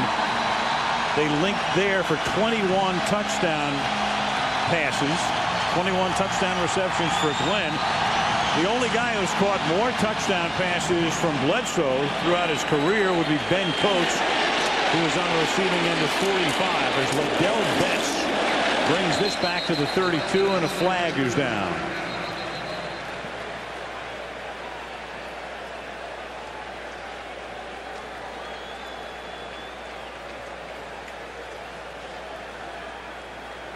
During the return, illegal block in the back, number 50. 10-yard penalty from the spot of the foul. First down. That is Harry Campbell, reserve linebacker. Let's watch that play again. Now, now here's Sean Taylor here. Here's Julius Jones. He's going to get the ball. Now watch him here in the clicker. You see, he's a he's a cover two safety. He sees the run. He steps up. Now, when he steps up, watch Terry Glenn right here get by him. Again, we'll do the same thing. You fake the run. He's reading the run all the way. He sees it. He goes to step up, and by the time he sees Terry Glenn go by him, it's too late. He's chasing to the end zone. And he lost his footing to compound it. And that's your first touchdown, and that's followed up by a big-time sack as the rookie Chris Canty out of Virginia, one of three defensive ends chosen in the draft by Bill Parcells, gets the sack. Chris Canty is going to be something special. I saw him in training camp, and I knew that this guy. I mean, he's big and he's and he's fast and he's quick and he has moves and and everyone was talking about Chris Canty as a young Leon Lett. Remember Leon Lett? Sure. That's what Chris Canty looks like when Leon Lett was a rookie or second year guy. Leon Lett was hard to forget. Second down and 18. And Brunell guns one out to the 22-yard line, and that's David Patten, who came over from New England as they've revamped the receiving corps this year. They go to the smaller receivers, a la the Smurfs of the old days, and guys like Patten and Santana Moss. Well, Joe Gibbs wanted to get big plays, and that's why he went to Patten and Santana Moss. And I think you know he has to get in a position in this third and fourth quarter while he calls some of those plays. Right now, they don't have the best field position to do it. Third and six from the 22. The Redskins still looking for their first touchdown of the season. One last week with three John Hall field goals. And that's incomplete, intended for David Patten, and they're the only team in the NFL without a touchdown as we conclude week two. You know, one of the problems with changing quarterbacks and bringing your backup quarterback in in the first week is most of the training camp, most of the preseason, you have one guy, Patrick Ramsey, getting all the work, and the second guy doesn't get as much. And then you bring the second guy in, and he's the starter, and it doesn't look like Mark Brunell has great timing with these receivers. Thus Andy Groom comes in to punt for the fifth time in the game. Patrick Crayton is back to run it back. Good kick. Crayton, who had six receptions last week in San Diego, brings this punt back up to the 33-yard line where he's tackled by James Thrash. Back in Texas, you look down upon downtown Dallas, a few miles to the west. Texas Stadium. Dallas has it from the 33-yard line to begin this drive with a Julius Jones run over the left side to the 35-yard line. Second down at eight. Injury means opportunity. Back in 92, Don Majkowski got hurt. Brett Favre took over in Green Bay, and they haven't supplanted him yet. And then you go back to 99 when Trent Green was going to be the Ram starter, hurt in preseason. Kurt Warner out of nowhere to lead him to the Super Bowl. Two-time NFL MVP. Then Drew Bledsoe got hurt in September 2001. That opened the door for Tom Brady, and you know the rest. Brady with three rings, Bledsoe to Buffalo, and now to Dallas. Second down and eight from the 35-yard line. To the outside he goes, and it's Keyshawn Johnson making the catch. He pulled it in, forced out of bounds, first down. You know, Bill Parcells was saying the other day that one of the things that Drew Bledsoe has to learn is when Keyshawn Johnson is open. He said Vinny Testaverde knew that because he played with him. Drew Bledsoe has to learn it. He doesn't get big cushions. I mean, it's not going to be a big cushion. It's going to be pretty close. But he has a big body that he knows how to use, and he will come up with it most of the time. And there's an example. And Bledsoe loses the ball, but recovers himself at the 43-yard line. You know, Bill Parcells talking about when he took over the team and how much success would they have and how quickly. He kept going back to the quarterback, and he inherited Quincy Carter back in 2003. Then Carter was dumped last year in training camp, and he brought Vinny Testaverde back. And Vinny'd been his guy in New York with the Jets in 98, and now he hopes that Bledsoe can be what Vinny was in 98. Yeah, and, and I think all he wants to do is have him manage the game, which he's doing very well, have a good running game, and play excellent defense. On second and 12, that is caught at midfield, and it will be third and short after the tight end Jason Witten, who the Chargers took out of the game last week. They concentrated on him. He caught only one, and that left it wide open for Keyshawn and for Crayton. I'm impressed with this pass protection to let Jason Witten do these types of things here. He's just running a hook against the linebacker, but but the thing that they've done is they have to give Drew Bledsoe pass protection, and I think that this group tonight has done an excellent job. I thought the Redskins would be all over Drew Bledsoe, Drew Bledsoe tonight. Third down in the short two, and they're going to go to the air. So Sean Payton opening it up to the outside he goes and it's incomplete. They did that earlier with success on a third and one. Then of course they have the flea flicker for the touchdown and Payton figures in a run situation with a jumbo backfield in effect and a fullback in the backfield or a tight end back there they'd go to the air but incomplete. Yeah and that's that's when it was only a two receiver route see there's only two guys out so either either you're going to fool them and they're going to get open or you have to throw it away Mat McBriar to punt. His fourth kick of the night. James Thrash is back. Tries to put a little backspin on it. And he does. And it's down at the eight-yard line. Well, there's a two-man booth, and then there's a three-man booth, and then there's a five-man booth. the triplets are here after that great halftime ceremony. Guys, numbers retired, enshrined now the Ring of Honor as the Washington Redskins take over back at the eight-yard line in a 10-0 game. And Mark Brunell, the quarterback, will go to the air on first down and swing it to the outside. And that pass is caught by Cooley. But Cooley, as one official looks at the other, was out of bounds. Emmitt, start with you. Just your feelings, the emotions after that great halftime ceremony where nobody went to the concession stand. well, I tell you what, I was a little teary-eyed for a second there, and uh, it got a little emotional when you start seeing the highlights of Troy and Michael coming coming down. And then all of a sudden they show your highlights, and you That's hear. what he really liked. then, then, then, you start, then you start realizing like something serious is about to happen. so, I mean, it was a great moment. It really was. Yeah, the crowd was. I mean, they were stoked before the game about this. As Brunell throws to the outside here, and that pass is incomplete, and a flag is down on the play. And Michael, what is it? You, you were here the longest. You were here from '88. You were here when things were tough, and you've got a personal foul here defensively.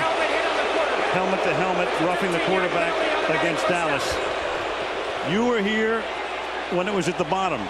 and then Troy came along, and then Emmitt. And so then to stand there tonight, what was that like for you? Well, it was a great feeling, and, and to stand there with these two guys because, like you said, I, I've been here the longest, but we grew into all of this together. We made it all together. We made a commitment to, to stay together. And, and that's the great thing about it. I mean, we had a bunch of great guys that we played football with, and we thank God for those guys. But it is truly a blessing to go on with my very good friends right here, Emmitt and Troy. Michael was here and when Tom Landry was the coach, and he left in, in 89, and then Jerry Jones bought the team, and Jimmy Johnson came in, and Troy Aikman became the number one choice in the draft. As Brunell on first down after that penalty against La'Roi Glover will give the ball to Clinton Portis to the outside. And then Troy, you start out one and 15. But when did you when did you guys know? How long did it take before you realized we've got something special happening? You know, it's a good question, Al. I think maybe at the uh, end of the 1990 season, maybe 91, but.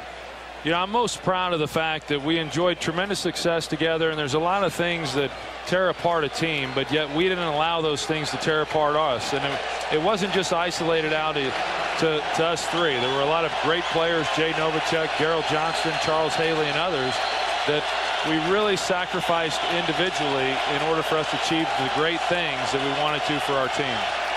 Second down and five after that five-yard gain by Portis, and Brunell is going to go deep over the middle. And that pass is incomplete with the flag. You know, that's what I always thought. I mean, I mean, you guys were really a team, and that's what it was all about, and, and the sacrifice and the toughness and everything that had to go with it. I remember Norv Turner when he was the offensive coordinator at saw him up here, you know, before a game when, and I said, "What are you going to do today?" I thought, "Well, you know, I'll get a nugget here." And he said, "Well," he said, "Troy's going to get it. Troy's going to get it. He's going to hand it to Emmitt and, and throw it to Michael." Well, that's, uh, that's you know pretty what? good. Here it is, right yeah, here. and and uh, the guy who's been overlooked in all of our successes, one, Jimmy Johnson. Yes. Two, Norv Turner, because Exactly. without either one of those guys, there's no doubt in my mind that we would have been able to go on and have the success that we had. And I know that both Michael and Emmitt agree with that. I remember once talking to you about it and saying, you know, there's not enough quarterbacks in the league to go around 32 teams. There's not 32 top quarterbacks. And you said, I'll tell you what's fewer than quarterbacks. You said quarterback coaches. Second and 15 after the holding call.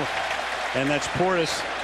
And, you know, Troy, I was thinking about, you know, you've got free agency and you've got Jimmy leaving prematurely. You guys must muse about how many you might have won. Well, we do at times, but uh, you know what, John, you're absolutely right. I think there's there's very few guys out there that can really put an offense together that allowed guys like us to have the success that we had.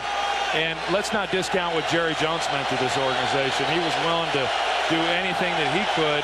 And there's not a lot of owners in this league that will commit themselves to win the way that he does. Third down and 12, and Brunell on third and 12, flushed out, thrown against the grain, and that pass is caught by Moss deep downfield on a third and 12 to the 38-yard line. Little improvisation. Hey, he did a great job of scrambling around and buying himself some time and finding a wide open guy. Unfortunately, the coverage broke down. Well, you guys are in the broadcasting business, so, you know, we've got three analysts right here. Emmitt, Well, I'm not as good as these two gentlemen behind me, but, uh, you know, this is my first time up in the booth actually looking at a game up here and, and calling it as I see it. So, you know, like I said, he did a great job of buying time.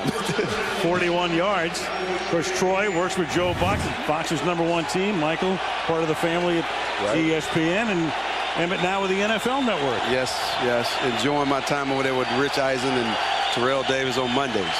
From the Troy, I think your name is right under the booth here. Hey, that play clock went, went dead. They did.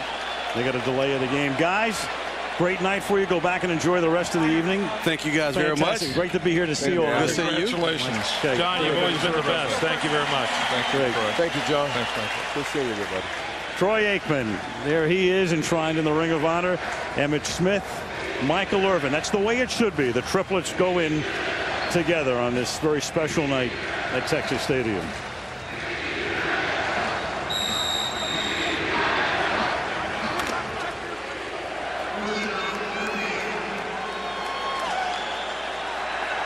And for those of you who have been watching the Giants and the Saints, we're in Texas Stadium. Dallas leads 10-0, but Washington has mounted this drive. The longest play of the night, a 41-yard pass to Moss, and now you've got Ladell Betts carrying. Betts the backup to Clinton Portis. So Washington not only trying to get on the board, but Joe Gibbs' team seeking its first touchdown of the season. Well, you know, we were talking about how they were a little conservative, I thought, in the first half. I thought both sides were. Then the Cowboys came out, they opened up a little. And now on this drive, the Redskins are opened up. And what they needed was that pass that they got that out and up to Santana Moss. And that came on a third down and 12. Now out of the shotgun on second down and 13. Brunell guns it over the middle into traffic. Cowboys say incomplete, and it is concurred by the umpire. David Patten was the intended receiver. You know, I think that's the stuff that the that the Dallas Cowboy defense is susceptible to now is is the one that they got to Santana Moss is a is a double move. I mean, he's thrown plenty of outs and plenty of you know hooks and and comebacks and those kinds of things. And I think that double move, you know, that out and up or something like that, is still there against this defense. Mike Zimmer was one of the few coaches Bill Parcells kept when he came in. Zimmer goes all the way back to the Barry Switzer era. Third down and 13. Brunell chased from behind, grabbed from behind, and sacked from behind by Scott Shanle. Yeah, Scott Shanle is a nickel linebacker, and that's that's what you want when you put a nickel linebacker in, a guy that can run. Because if they want to, if the quarterback wants to get get scrambled and start moving out, you need a guy that can chase him down, and not only chase him down, but catch him.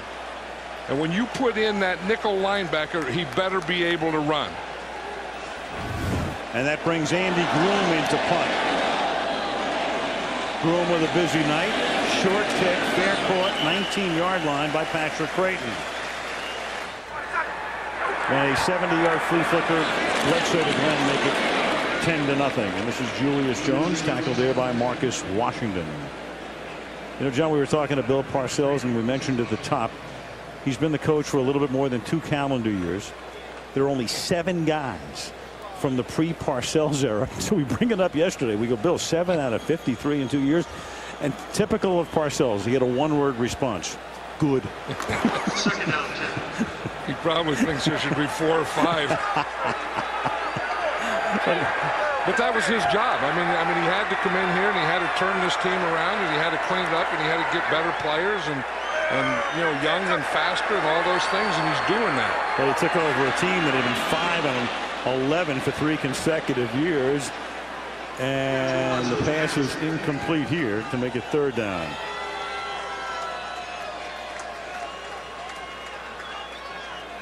You know, and the, and the, the guys that he brings in are a lot of players that have played for him at other places. 34, in fact, have played for Parcells with more than one team, and that is the most of any coach in history by far. Well, I think, you know, that's going to happen when you're the head coach of four teams. I mean, there's not a lot of that in history either. I mean, he was a head coach of the Giants and then the Patriots and then the Jets and now the Cowboys. So if you coach a lot of teams, you're going to have a lot of ex-players out there. We talked about it yesterday. He said, you know what, I just try to bring in good players. And, of course, it helps if you know the system and you know what kind of a guy he is, what it's like to play for him, as does Bledsoe who hits Jones here, makes the juggling catch and is able to convert. It's a first down. You know, everyone out there that hates the prevent defense can can stand up right now and say, count me on this one, because what do you do in a prevent? They played this very soft. Three-man rush, everyone was off, and they let Drew Bledsoe hit underneath, and they were so soft they gave him enough room to run for a first down. Yeah, but I think I think in this part of the game you don't get that soft on third down. Split backs here, and they give it to Jones.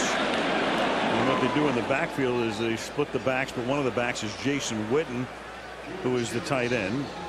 For some of the 34 that have played for Bill with at least two teams. Second down and 11 from the 31-yard line. And Jones goes next to nowhere. See, we're talking about the Cowboys playing tonight without a fullback, so they have two tight ends. Jason Witten being the move guy, and that time it was Dan Campbell was lined up in the backfield, and it was a lead play, a four-hole lead play, so he became the, the, the lead back on that. Now, that's where that's where you lose a little.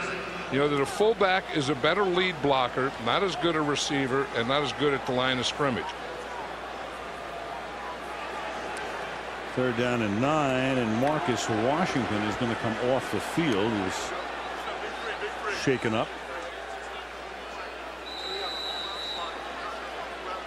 Play clock will start from 25. Washington has to come out for at least one play. Chris Clemons comes in to spell him. Third down and 10. They're in the three three man nickel here. This is where they bring a lot of their exotic blitzes when they have six or seven defensive backs in there.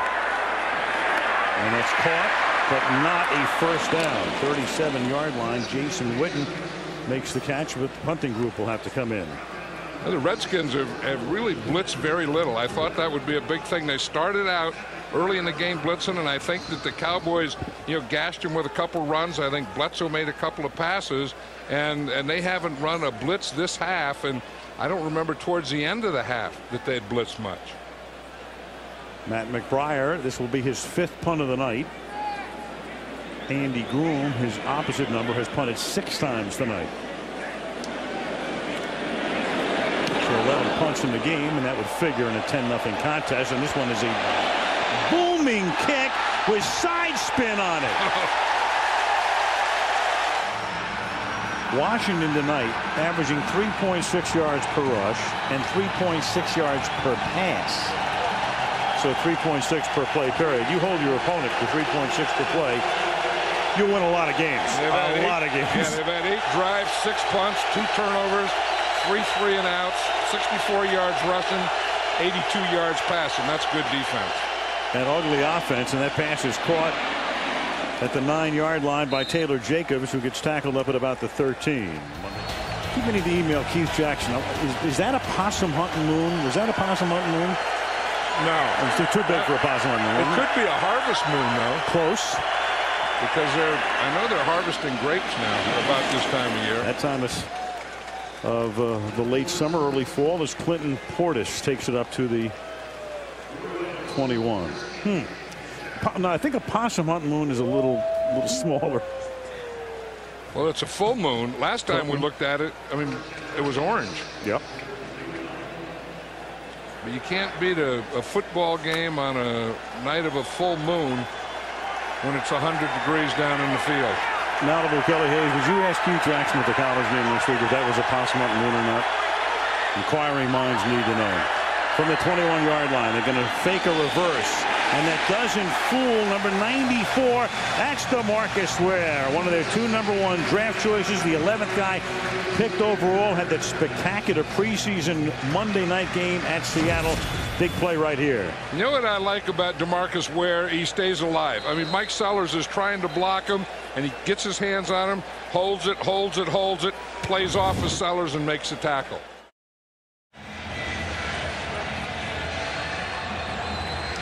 Al Michaels, John Madden, Sam Ryan filling in for Michele Tafoya on maternity leave. The Redskins have lost 25 straight when trailing going into the fourth quarter. Ominous sign right there, and right now they're trailing 10 to nothing from the 18-yard line. Skins have still not scored a touchdown in seven quarters this season. Cooley up to the 24. John, we're talking about harvest moons and possum hunting moons, and then there's a, a blue moon. And a blue moon is how long it's taken the Redskins between touchdowns because their last one was last December. Yeah, and it, and it doesn't look like this offense has a good feeling for each other. I mean, it doesn't look like there's any confidence out there, or they feel that we can really do this. I mean, we can run the ball. We can throw it to our wide receivers. You know, I don't get that feeling that they feel confident in any of those things. Third down and seven from the 24-yard line.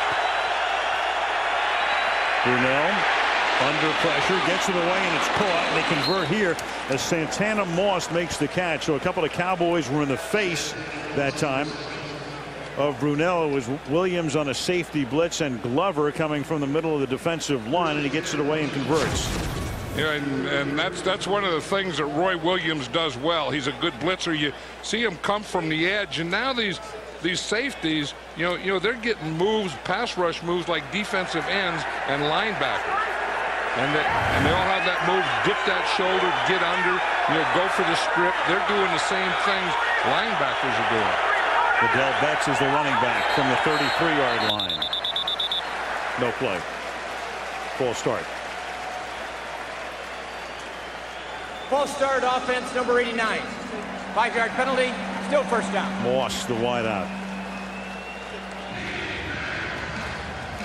A blast from the past.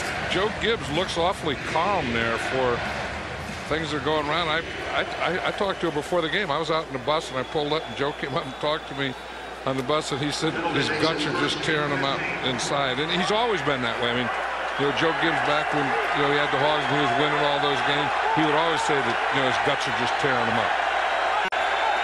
And they have to be right now with his team not able to get into the end zone and more than seven quarters of action on first and 15. And Brunell will get chased and then get hog-tied by Anthony Henry. Get the horse collar rule in effect, but not right there because he had him by the shirt. Yeah, I mean, you have to watch out that you don't horse collar when you hog tie. right. You can hog tie, but you can't horse collar. But this is all about coverage. And you just watch. I mean, it's a zone coverage, and, and everyone is reacting. Every, everyone's in their zones. Everyone is, is, is, is shortening down, taking things away, taking the underneath away, squeezing everything on Mark Brunell. So that wasn't anything except great coverage. Second and 11 from the 32.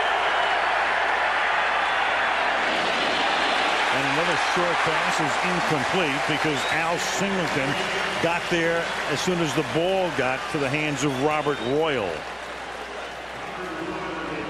Yeah, you just don't feel that the Redskins have anything that can anything in their offense that can pressure you. you I mean, I mean, I mean, you have to get something where you, you know, you have to worry about things deep so you can hit underneath, so you can get some running games. But it seems like against this offense, you can just keep everything easily right in front of you. Just one big play tonight, that 41-yarder to Moss. Third down and 11 from the 32-yard line. Brunell gets excellent protection, but then he lofts one that's juggled and dropped, incomplete. On a third and 11, I mean, how often are you going to be able to convert on a play like that to Clinton Portis? Well, you're not you're not going to be because one thing that the the Cowboys do when they get their nickel defense in there, they're all good tacklers, and and you may gain one or two or three yards, but you're not going to get the whole thing.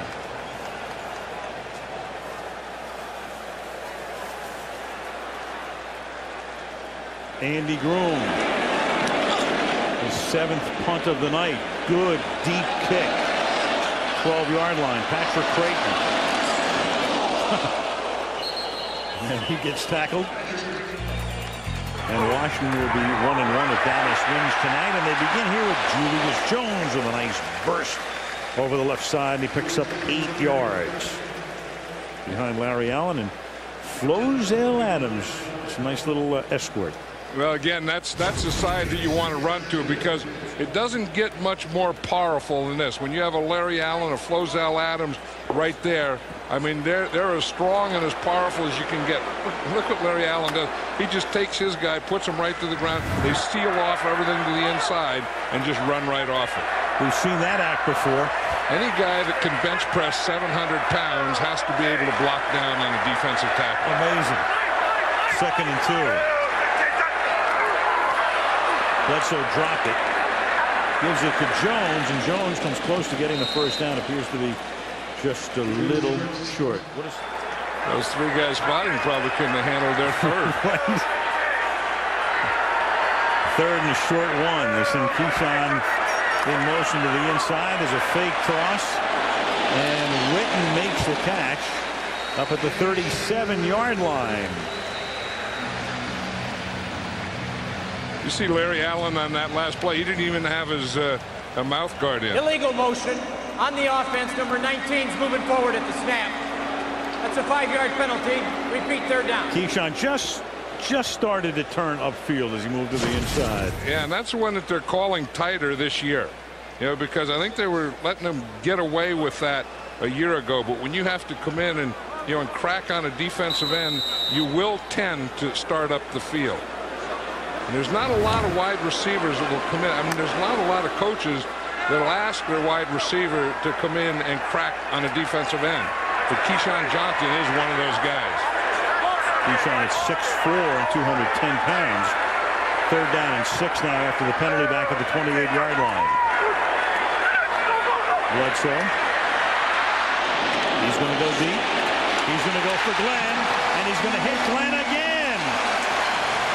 Glenn, who has scored the only touchdown of the game. And Bledsoe says, come on, keep it up. Let's get downfield. We've got him on the run to the 29-yard line.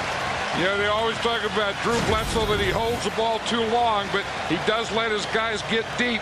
And if you can pass protect like this, and the Cowboys have been pass protecting well all night, then Drew Bledsoe can have time to make these throws down the field to Terry Glenn. 43 yards. Glenn's caught four now for 127 receiving yards from the 29-yard line. Jones to the 24-yard line. You know, I think a big part of this story is that Drew Bledsoe hasn't been sacked. I really thought that the Redskins you know, had such a good defense and Gregg Williams did so many things, blitzing and so on. Knew Drew Bledsoe was going to blitz him a lot right up the middle and, you know, would really make it tough. They haven't sacked him. I think they've only hit him once or twice and knocked him down once. So you can say Drew Bledsoe's doing a great job of getting the ball out of there. I think Sean Payton is doing a great job of calling plays. And this offensive line tonight is very special. Tremendous. Second down and five from the 24-yard line. You saw Bledsoe just went past Unitas in career passing yards. Next up will be Joe Montana, and next up is a first down after Julius Jones on his 19th carry of the night takes the ball down to the 17s or 16 yard line. First down. Al Johnson is back in at center. You know, that's one of the offensive line positions that they rotate. And you're going to see he gets a pretty good block there. He just stays with his guy and gets him going to the outside, then gets him down just as Julius Jones goes by. You know that old deal. Sometimes, you know, the run will open up the pass, and a lot of times, I think we're seeing it right now, the pass or the deep pass has opened up the run. Cowboys started this drive at their own 24. And there's a flag. You know, John, you're talking about this offensive line for Dallas. To me, one of the most amazing things is the science of drafting. And you look at Dallas through the years, and they've made Holding, obviously offense, some great choices. Number 73, 10-yard penalty. Repeat first down. Troy Aikman and Michael Irvin and Emmitt Smith in the first round. Look at this. 300 consecutive games. No offensive lineman who was drafted in the first round has started. You have to go back 20 years to Howard Richards. You have your Flozell Adams and your Larry Allen and all the guys who led the way through the years for Herschel Walker and Emmitt Smith all of those years. And now Julius Jones, not a single first rounder has started on the offensive front. Right, and how about this Rob Petitti, the rookie we were talking about, the right tackle right there. He's a sixth round pick. Now, if you would redraft him again, I'll guarantee you there'd be some first round picks. Oh, yeah. Larry Allen would probably be the first player chosen in the draft. Now you got the rookie Tyson Thompson in the backfield. He's a as fast as they come. A rookie out of San Jose State, a free agent who's made the team. Cedric Killings made the stop. Bill Parcells telling us before the game in Seattle we're going to see a lot of Thompson. We didn't see him at all that night, but he's in there tonight. Yeah, we saw him in a uh, tape in a preseason game in Arizona, and he was faster than anyone in the field. And I said, this guy is really something special. What did he have here? He was, he's from Irving. Right. Right here. He played here. And I think in a high school game, he gained over 500 yards. 528 rushing yards. Second and 18.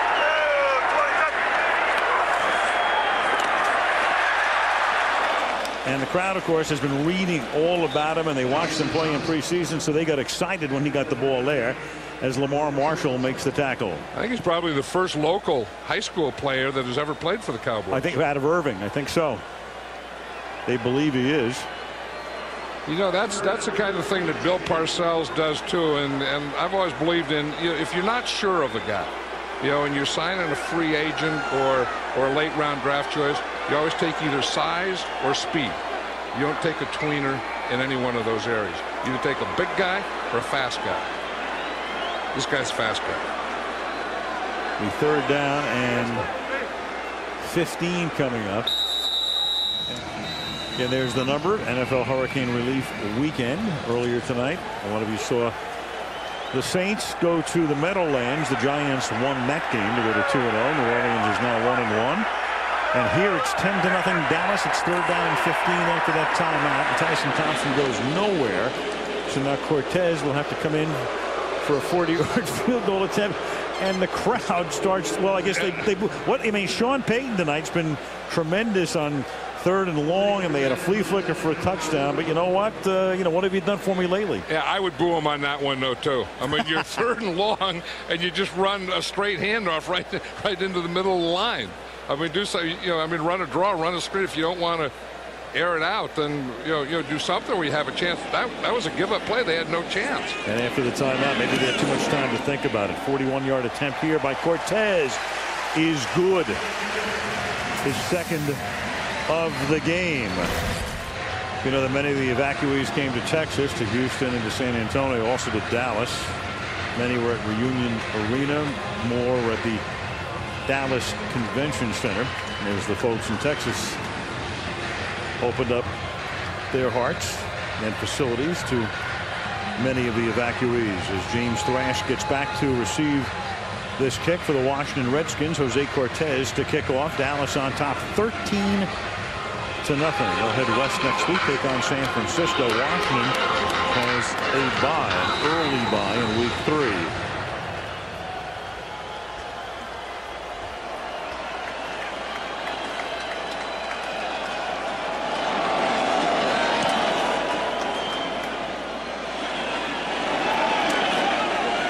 Betts from the four-yard line. And his helmet taken off as he gets up to the 24-yard line. Brunell and company go to work, and we check in with Sam Ryan. Sam. Well, Al, you've been talking about hurricane disaster and relief. Washington Redskins linebacker LaVar Arrington and his wife Tricia, they wanted to do something other than just writing a check. So LaVar told me they actually thought about it and they helped out the evacuees, 250 of them. They brought them shopping last week to Walmart, giving them gift cards of $200. Now, LaVar told me the one thing that really stuck with him out of that, a gentleman came up to him and said, I have a job interview tomorrow. I didn't have anything to wear. Not only have you given me clothing, but you've given me confidence, Al. Thank you, Sam. A lot of players have done some tremendous things over the past three and a half weeks. There's the pass to David Patten is incomplete. It'll be second down. And you've got uh, Patten coming off slowly. You know, you have to like the way the, the Cowboys have, have been rotating different players. As we said earlier, Bill Parcells had 22 active defensive players, and he's been rolling them all night. And I think it's starting to show right here now in the fourth quarter where they still look relatively fresh. And that was the case last week against San Diego. Brunell rolling to his right, going against the grain, hitting his man Cooley on the run. And Cooley gets taken down, and you got a, another lost helmet here from Scott Shanley. You know, did you ever wonder why they why they rotate defensive guys all the time and they never rotate offensive linemen? Yeah, we were talking about that yesterday. I get, I get, you know. Illegal contact on the defense, number 26. Penalty is declined. First down, Washington. Meanwhile, Shanley comes out bloodied, but we would assume unbowed. Uh, he better he better get something stuck up in there to stop that bleeding. It's going to go right down into his mouth. Yeah, in the NBA, he'd be out of the game right now. He better get his stuff fixed up. I don't think he had that second chin strap piece on. Now, see, he still has one loose. Blood all over the front of his uniform. First down and 10 from the 38-yard line. And Brunell is going to go deep down the left sideline, but the coverage is very good. Intended for Taylor Jacobs, wearing Gary Clark's old number, covered there by Anthony Henry. Bill Parcells he's like a, a, great relief pitcher who comes in with the lead. And if he has a 13 or more point lead anytime in the fourth quarter, 77 and 0. And you know why that is? Because he always builds his team with a good running game and good defense. And if you get the lead and you can run the ball and control it and you have good defense, that will be your record. Second and 10. From the 38, pressure on Brunell, and then you've got Roy Williams coming in free. There's a good chance you're going to see a sack, and that's what happens here. I think Brunell saw it too because you know he's left-handed and that's on his left side. So Roy Williams came from that side. Mark Brunell saw it all the way. There was just nothing he could do about it. Watch, here comes Roy Williams from the outside. That was the side Brunell was looking right at, but he's just too quick. That's close to a horse collar too. Well, it's okay to horse collar a quarterback. Know, I mean, I mean, why that is, I don't know, but it's not illegal if you horse collar a quarterback. That's a sack and a half. That's a 17-yard sack, and now you've got Brunell, and Brunell with some moves up to the 45-yard line. Mark with a little deke and a fake and up to the 45. So it was third and a mile, and now it's fourth and three, and with 427 remaining, Washington down by 13 will line up to go for it, but first they will discuss it. After the timeout, it's fourth down and two for the Washington Redskins. They have to go for it from the 46. And a floating pass is caught by James Thrash, and they pick up the first down. So it was third down and 27. Brunell then took off for a 25-yard gain on a run. And this pass here on fourth down, and they convert, and they keep it going, and they are inside the 35-yard line. Now watch what happens. It's Roy Williams, again, is going to come on him and he's going to see it this time and get rid of it quickly. What the left here comes Roy Williams again.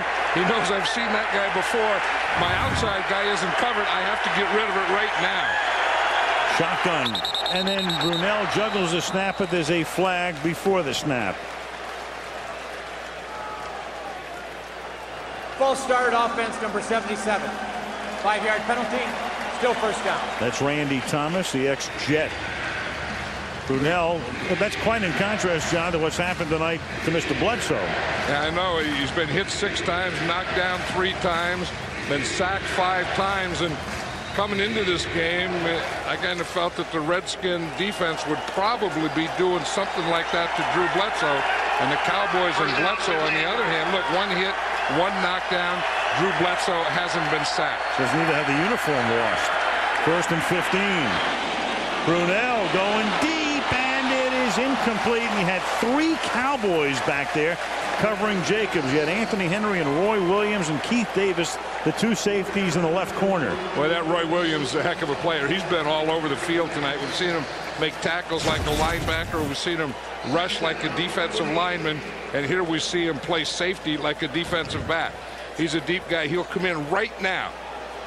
Got the ball at the highest point. The only thing, it went right through his hands and hit him in the face mask. That's what you try and do as a defensive back. You try and get up and get the ball at, at, at its highest point. Second down and 15.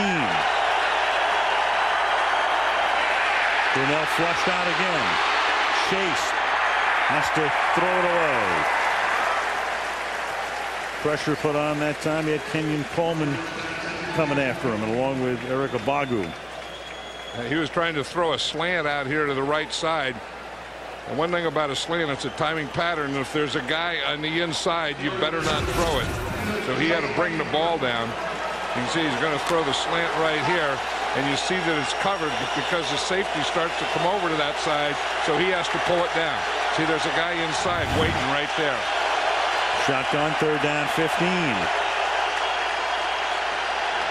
Brunell hangs in there, and the pass is incomplete. He tried to throw it to Ladell Betts the running back. And so now Washington with 3.55 on the clock down to a fourth and long.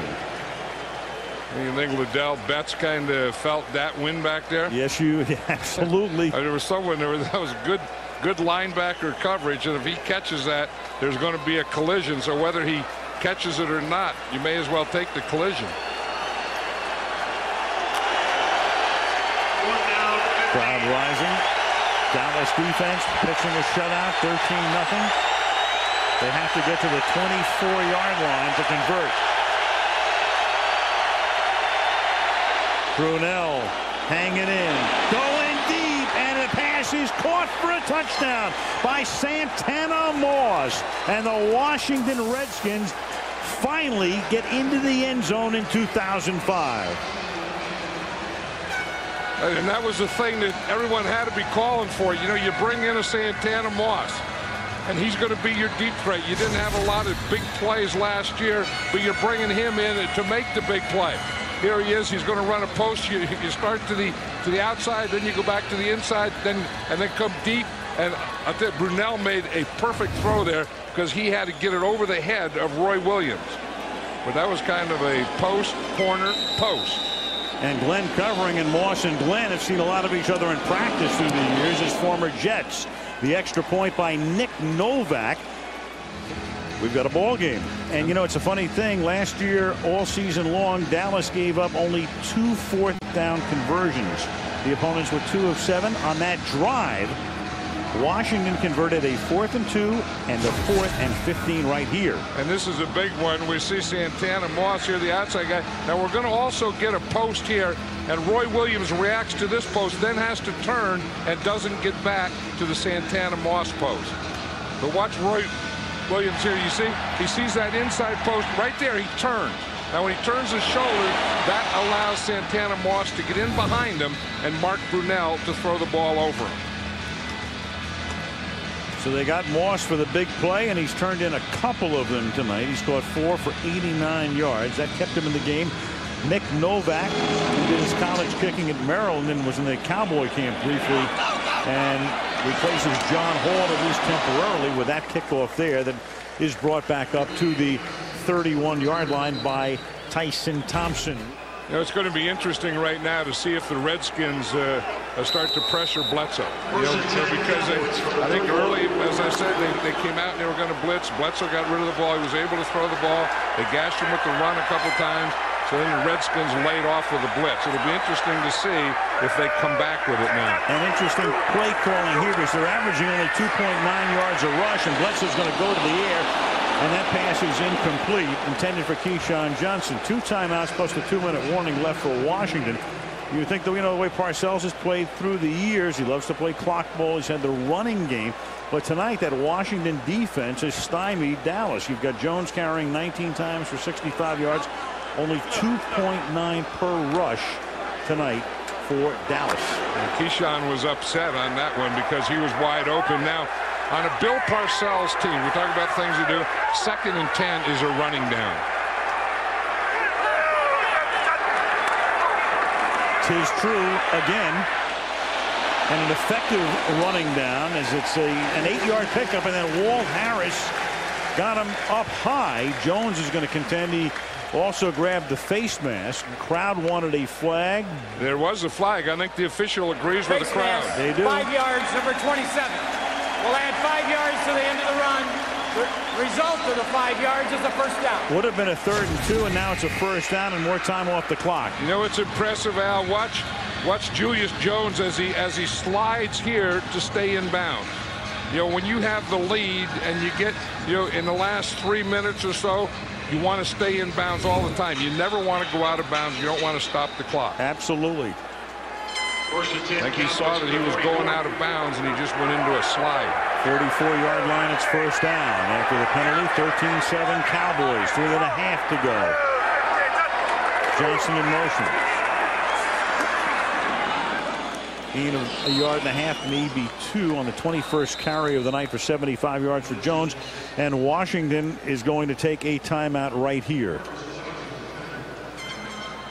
And that is their second. So Gibbs is going to use his timeouts early and force the issue. Well, Roy Williams has hit like Roy Jones. But you know the reason that, that, that Bill Parcells always runs on second and long is so he has a third and manageable. He, he doesn't want to throw an incomplete pass on second and long and then come up with third and long where they can really you know, throw all their blitzes at you. Second down and eight now from the 46-yard line. They have nine in the box, and Bledsoe's going to go to the air. And Bledsoe hit as he throws, and that's thrown into the bench. And so that's perfect for Washington's defense. Renaldo Wynn put the pressure on because they took the timeout. They're not compelled to use another timeout. They still have one. They still have the two-minute warning, and now it's third down and eight for Dallas. Yeah, I'm surprised that Sean Payton called a called a pass on that play because now they get that third and long situation, and this is where Gregg Williams really likes to bring the heat. So any play that that Sean Payton calls here, you better be able to pick up blitzes. Here is Gregg Williams, head coach of Buffalo before that defensive coordinator for Jeff Fisher of Tennessee.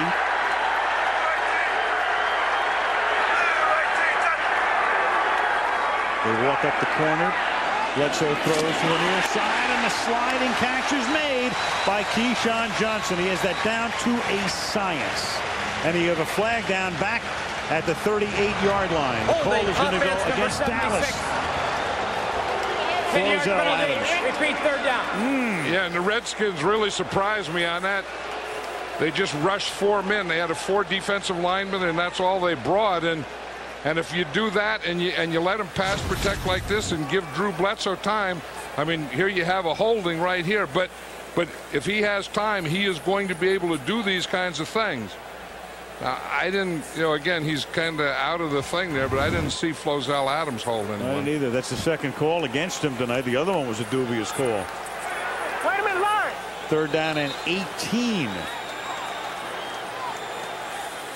Now these are Gregg Williams blitz type situations, but against the Cowboys and, and, and, and Drew Bledsoe from the from the first couple series on, he hasn't been doing it. In fact, he told someone he was going to blitz like 70 or 80 percent of the time, and he's probably blitzed about 5 or 10 percent of the time. Subterfuge. I know Bill Parcells expected a lot of it. Drew Bledsoe expected a lot of it. Sean Payton expected a lot of it. This offensive line expected a lot of it. Third down and 18. Just outside the 35-yard line. It's a four-man rush. Line does its job. Witten makes the catch, but well short of the first down. He's wrapped up first by Walt Harris at about the 49-yard line. So now Dallas is forced to punt. Washington will use its final timeout. So they have almost three minutes, and they get to stop the clock at the two-minute warning, so they have plenty of time. But that was still a big play for the Cowboys because it, it bought them about yards of field position. And the Redskins are going to get the ball, but they're not going to have very good field position. Parcells keeps going in and out, and they'd like you to be retired before they put you in there. McBriar's punt is too deep. And that will come out to the 20-yard line. So they'll have to go 80 yards in 252. You know, Al, we talked about how the, the fans stayed in their in their seats for the the halftime ceremony of Troy Aikman, Michael Irvin, Emmitt Smith. They're also staying in those same seats for the entirety of this game. Washington hasn't won here in nine seasons. And that is caught out in the flat by Clinton Portis. Washington's last win in this park was 1995. And as we said, 14 of the last 15 meetings between these two teams has been won by the Dallas Cowboys. Dan Snyder bought the team in 99, so he has yet to see his team win a game in this stadium. Now, this is when you find out about your offense and defense. I mean, this is what good offense is when you can make plays in this situation. Good defense is when you can stop those plays. From the 30, Brunell going deep for Moss again. He makes the catch, and Santana Moss for a touchdown. Wow! And again, it's Glenn and Williams on the coverage. He beats the same two guys. Unbelievable. He just outran him, and Mark Brunell got it out there. That's what I'm saying. This is offense. This is defense. You can play great defense the whole game, but you have to make a play here. You can play lousy offense the whole game, but you have to make a play here. And the team that makes the plays is the team that's going to win. 70 yards to Moss, and so the Redskins go almost two full games without a touchdown, and then they get them back to back, and the extra point will give them the lead. Hey, that's what Joe Gibbs wanted Santana Moss for. He said we didn't have enough big plays. We wanted Santana Moss to make them for him. looked in the first half like they weren't going to try. Then they came out here in the second half, and he's made a couple of big, big, big ones for him.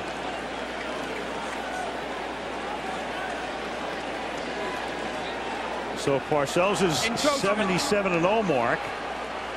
On the defense. That five yards will be added on the kickoff. That's a good penalty so they don't give those guys a free shot on the extra point. Right. It used to be that there was, you know, a penalty, but you wouldn't take it, you know, in this extra point, and a guy would get over the center. You know, in, in, in grammar school, high school, you have no canning the center, but there's no no canning the center rule. And Novak bangs one through in his NFL debut. So with 2.35 remaining in regulation, it's now 14-13, and the Cowboys have two timeouts and a two-minute warning. But Aaron Glenn is number 26. Roy Williams is number 31. We see Santana Moss down here in the right, and he is just going to split the two. He's going to run right between Roy Williams and Aaron Glenn. That's what speed does, and that's what a good throw does. I mean, I mean, this is why you say, you know, you know when you have a coverage, you like to have someone up bumping these guys so you can throw them off stride. When a guy like Santana Moss can run, that's just like running a 100-yard dash in a track meet. I mean, he's just running straight through. No one, no one reroutes him. No one does anything to him. He just runs right through and past and beyond your defense. What a play by Mark Brunell and Santana Moss. Two of them for Jerry Jones. He can't believe what he's just seen. His team on the verge of pitching a shutout, and now they're down by a point. You know, and the Redskins just kind of hung in there. You know, I mean, that they weren't doing anything offensively. They weren't being aggressive. They weren't pressuring defensively.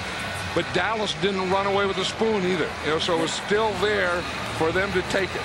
The Cowboys left them there, and the Redskins just hung in and kept going and going and going. Now it's the Cowboys' chance.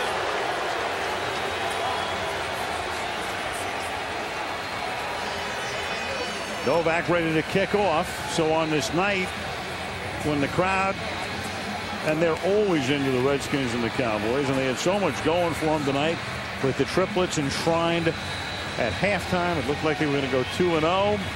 Had things in hand, and all of a sudden, in a dogfight, down by one. Tyson Thompson is back to return the kick. Novak sends it skyward. It comes down to the two-yard line. This is the rookie Tyson Thompson. Up past the 20, that big burst of speed, and Novak, the kicker, makes the tackle at midfield. Boy, we knew that he was impressive because he has speed. He has great speed.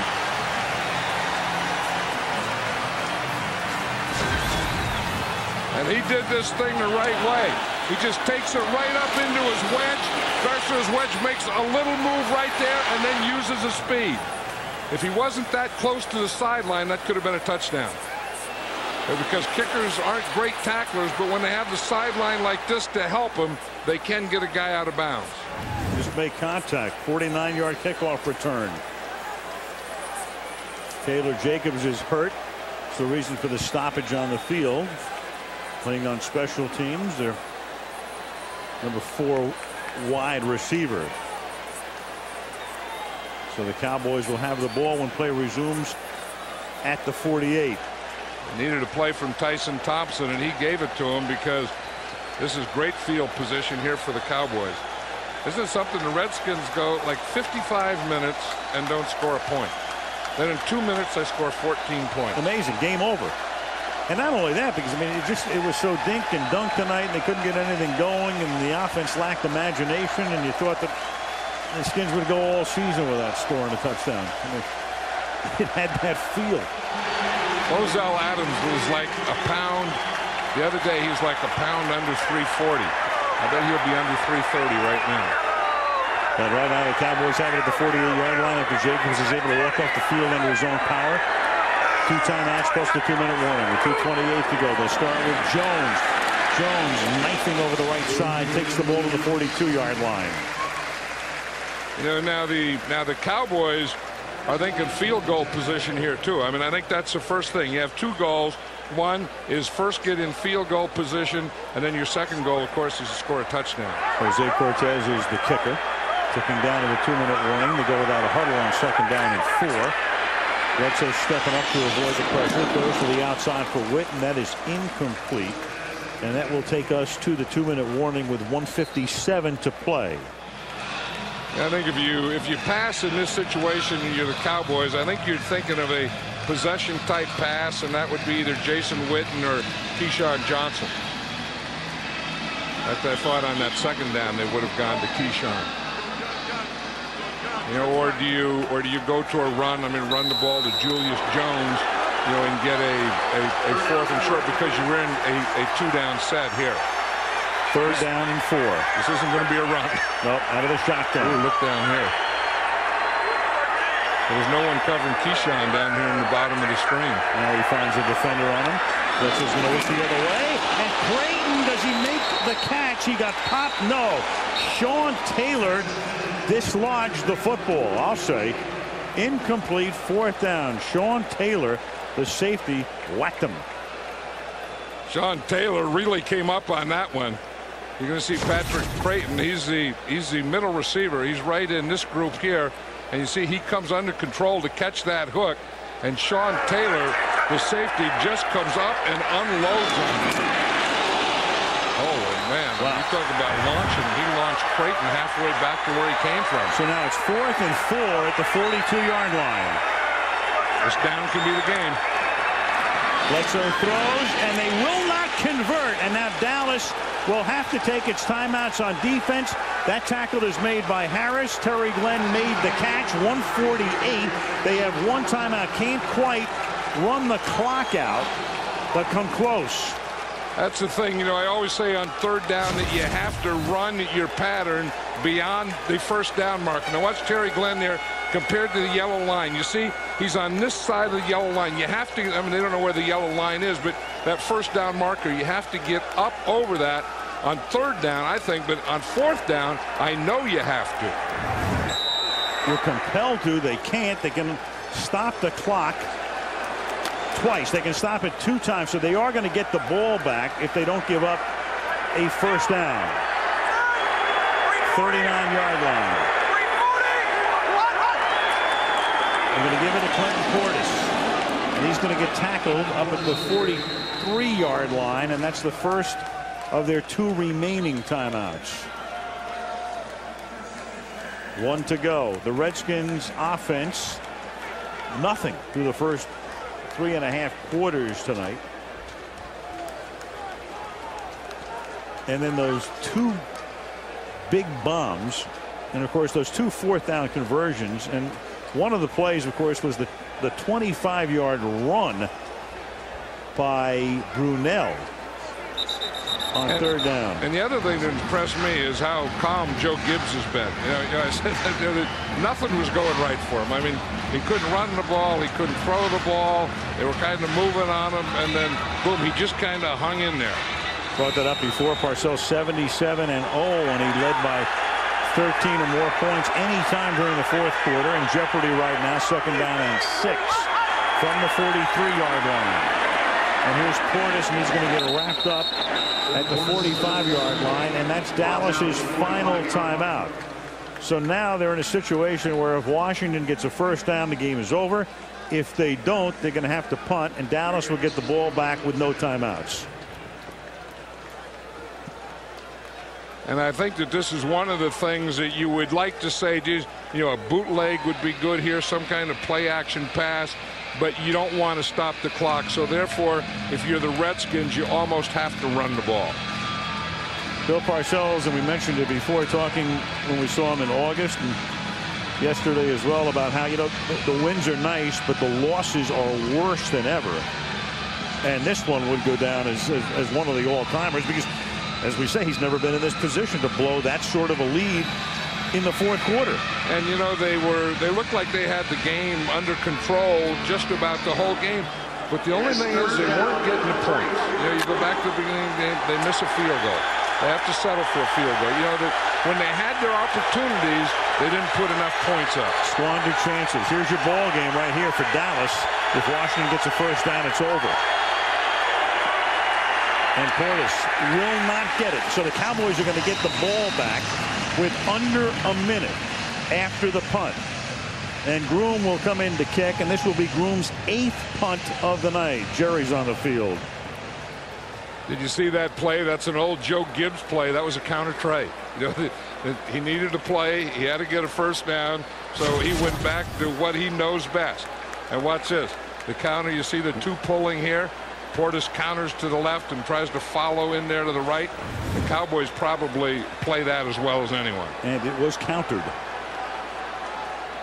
And now the Redskins will run the clock all the way down. They might even take a delay a game at this point with a punt from near midfield. And they will. So they eat up all of the time they can, which takes us down to 50 seconds. And Groom will be punting when play resumes to Crayton. Right, and the clock will start again at the snap of the ball, and then it, it will it will stop with the end of the punt return, change of possession. Last year, the Redskins thought they had the game won here, and the Cowboys, on a pass to Crayton, came from behind to win it at the end. Now, Crayton will have another opportunity to make a big impact. as he'll run back this punt. Clock starts now. And it's a short end over end kick, bouncing at the 25, and it takes a pretty good bounce for Dallas. As it's it's a good bounce for the Redskins. The, the clock's still right. going. The clock is still going, and the one thing about Dallas is that that took 14 seconds total off the clock. So Washington in no hurry to down it. And now Drew Bledsoe will start from the 21 yard line and try to get Cortez into position for a game winning field goal. And again, you're not going to do that in one play. So Sean Payton calling plays, Drew Bledsoe throwing them. You have to kind of think in terms of you know a couple of 20-yard passes as compared to one 70-yard pass. Out of the shotgun for Drew Bledsoe. Skins by one. 36 seconds, no timeouts. Four-man rush to the outside. Incomplete and short.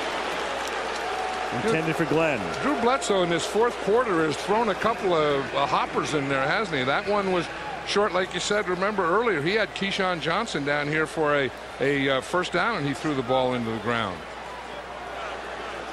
Well, I guess that, you know, heat can, you know, we're talking about heat taking a toll on linemen and pass rushers and that, but it can also probably take a toll on quarterbacks, arms. Second down and 10. is 19 of 31 for 225 yards. Rushing five this time.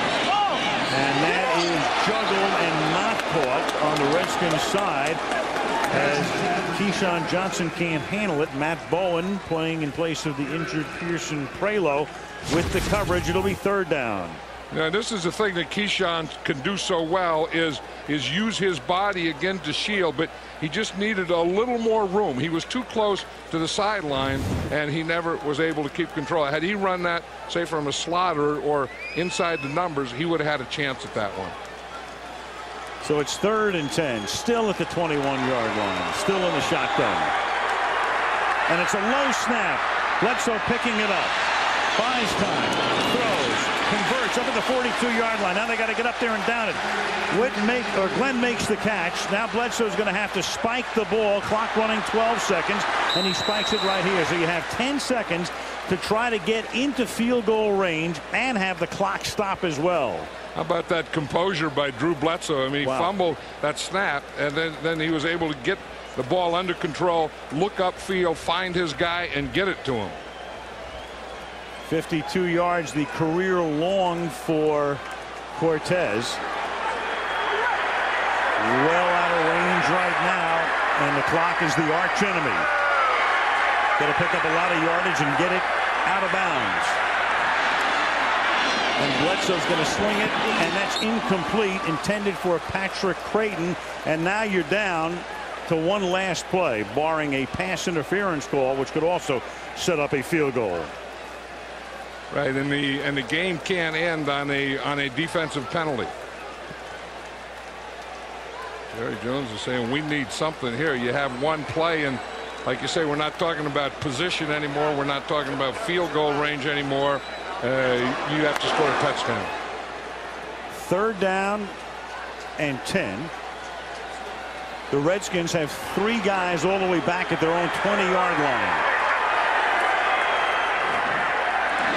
And they'll throw it underneath, and it's Jones, and he'll lateral the ball to Glenn. And Glenn will look to lateral it, but can't, and that's the way the ball game will end. And I'll tell you, we have seen some improbable wins through the years. This was only a 13-0 game, but this would rank right up there in terms of improbability. And for Jerry Jones and for Bill Parcells, that's about as bitter as it gets. The Redskins have lost 14 out of 15. And Joe Gibbs came in here and it looked like everything was against him. In fact, he told me last night, he said that they're treating us like we're a homecoming team. You know, they have the, you know, the triplets going into the Ring of Honor and they bring us in here to, to beat us on that night. But they sure hung in there, didn't they? Boy, did they ever. Whoa! And that, that, that feels really good on a night when it's still in the 90s. Yeah, because there was no shiver or anything on that one, was that? That was, like you say, that was complete enjoyment.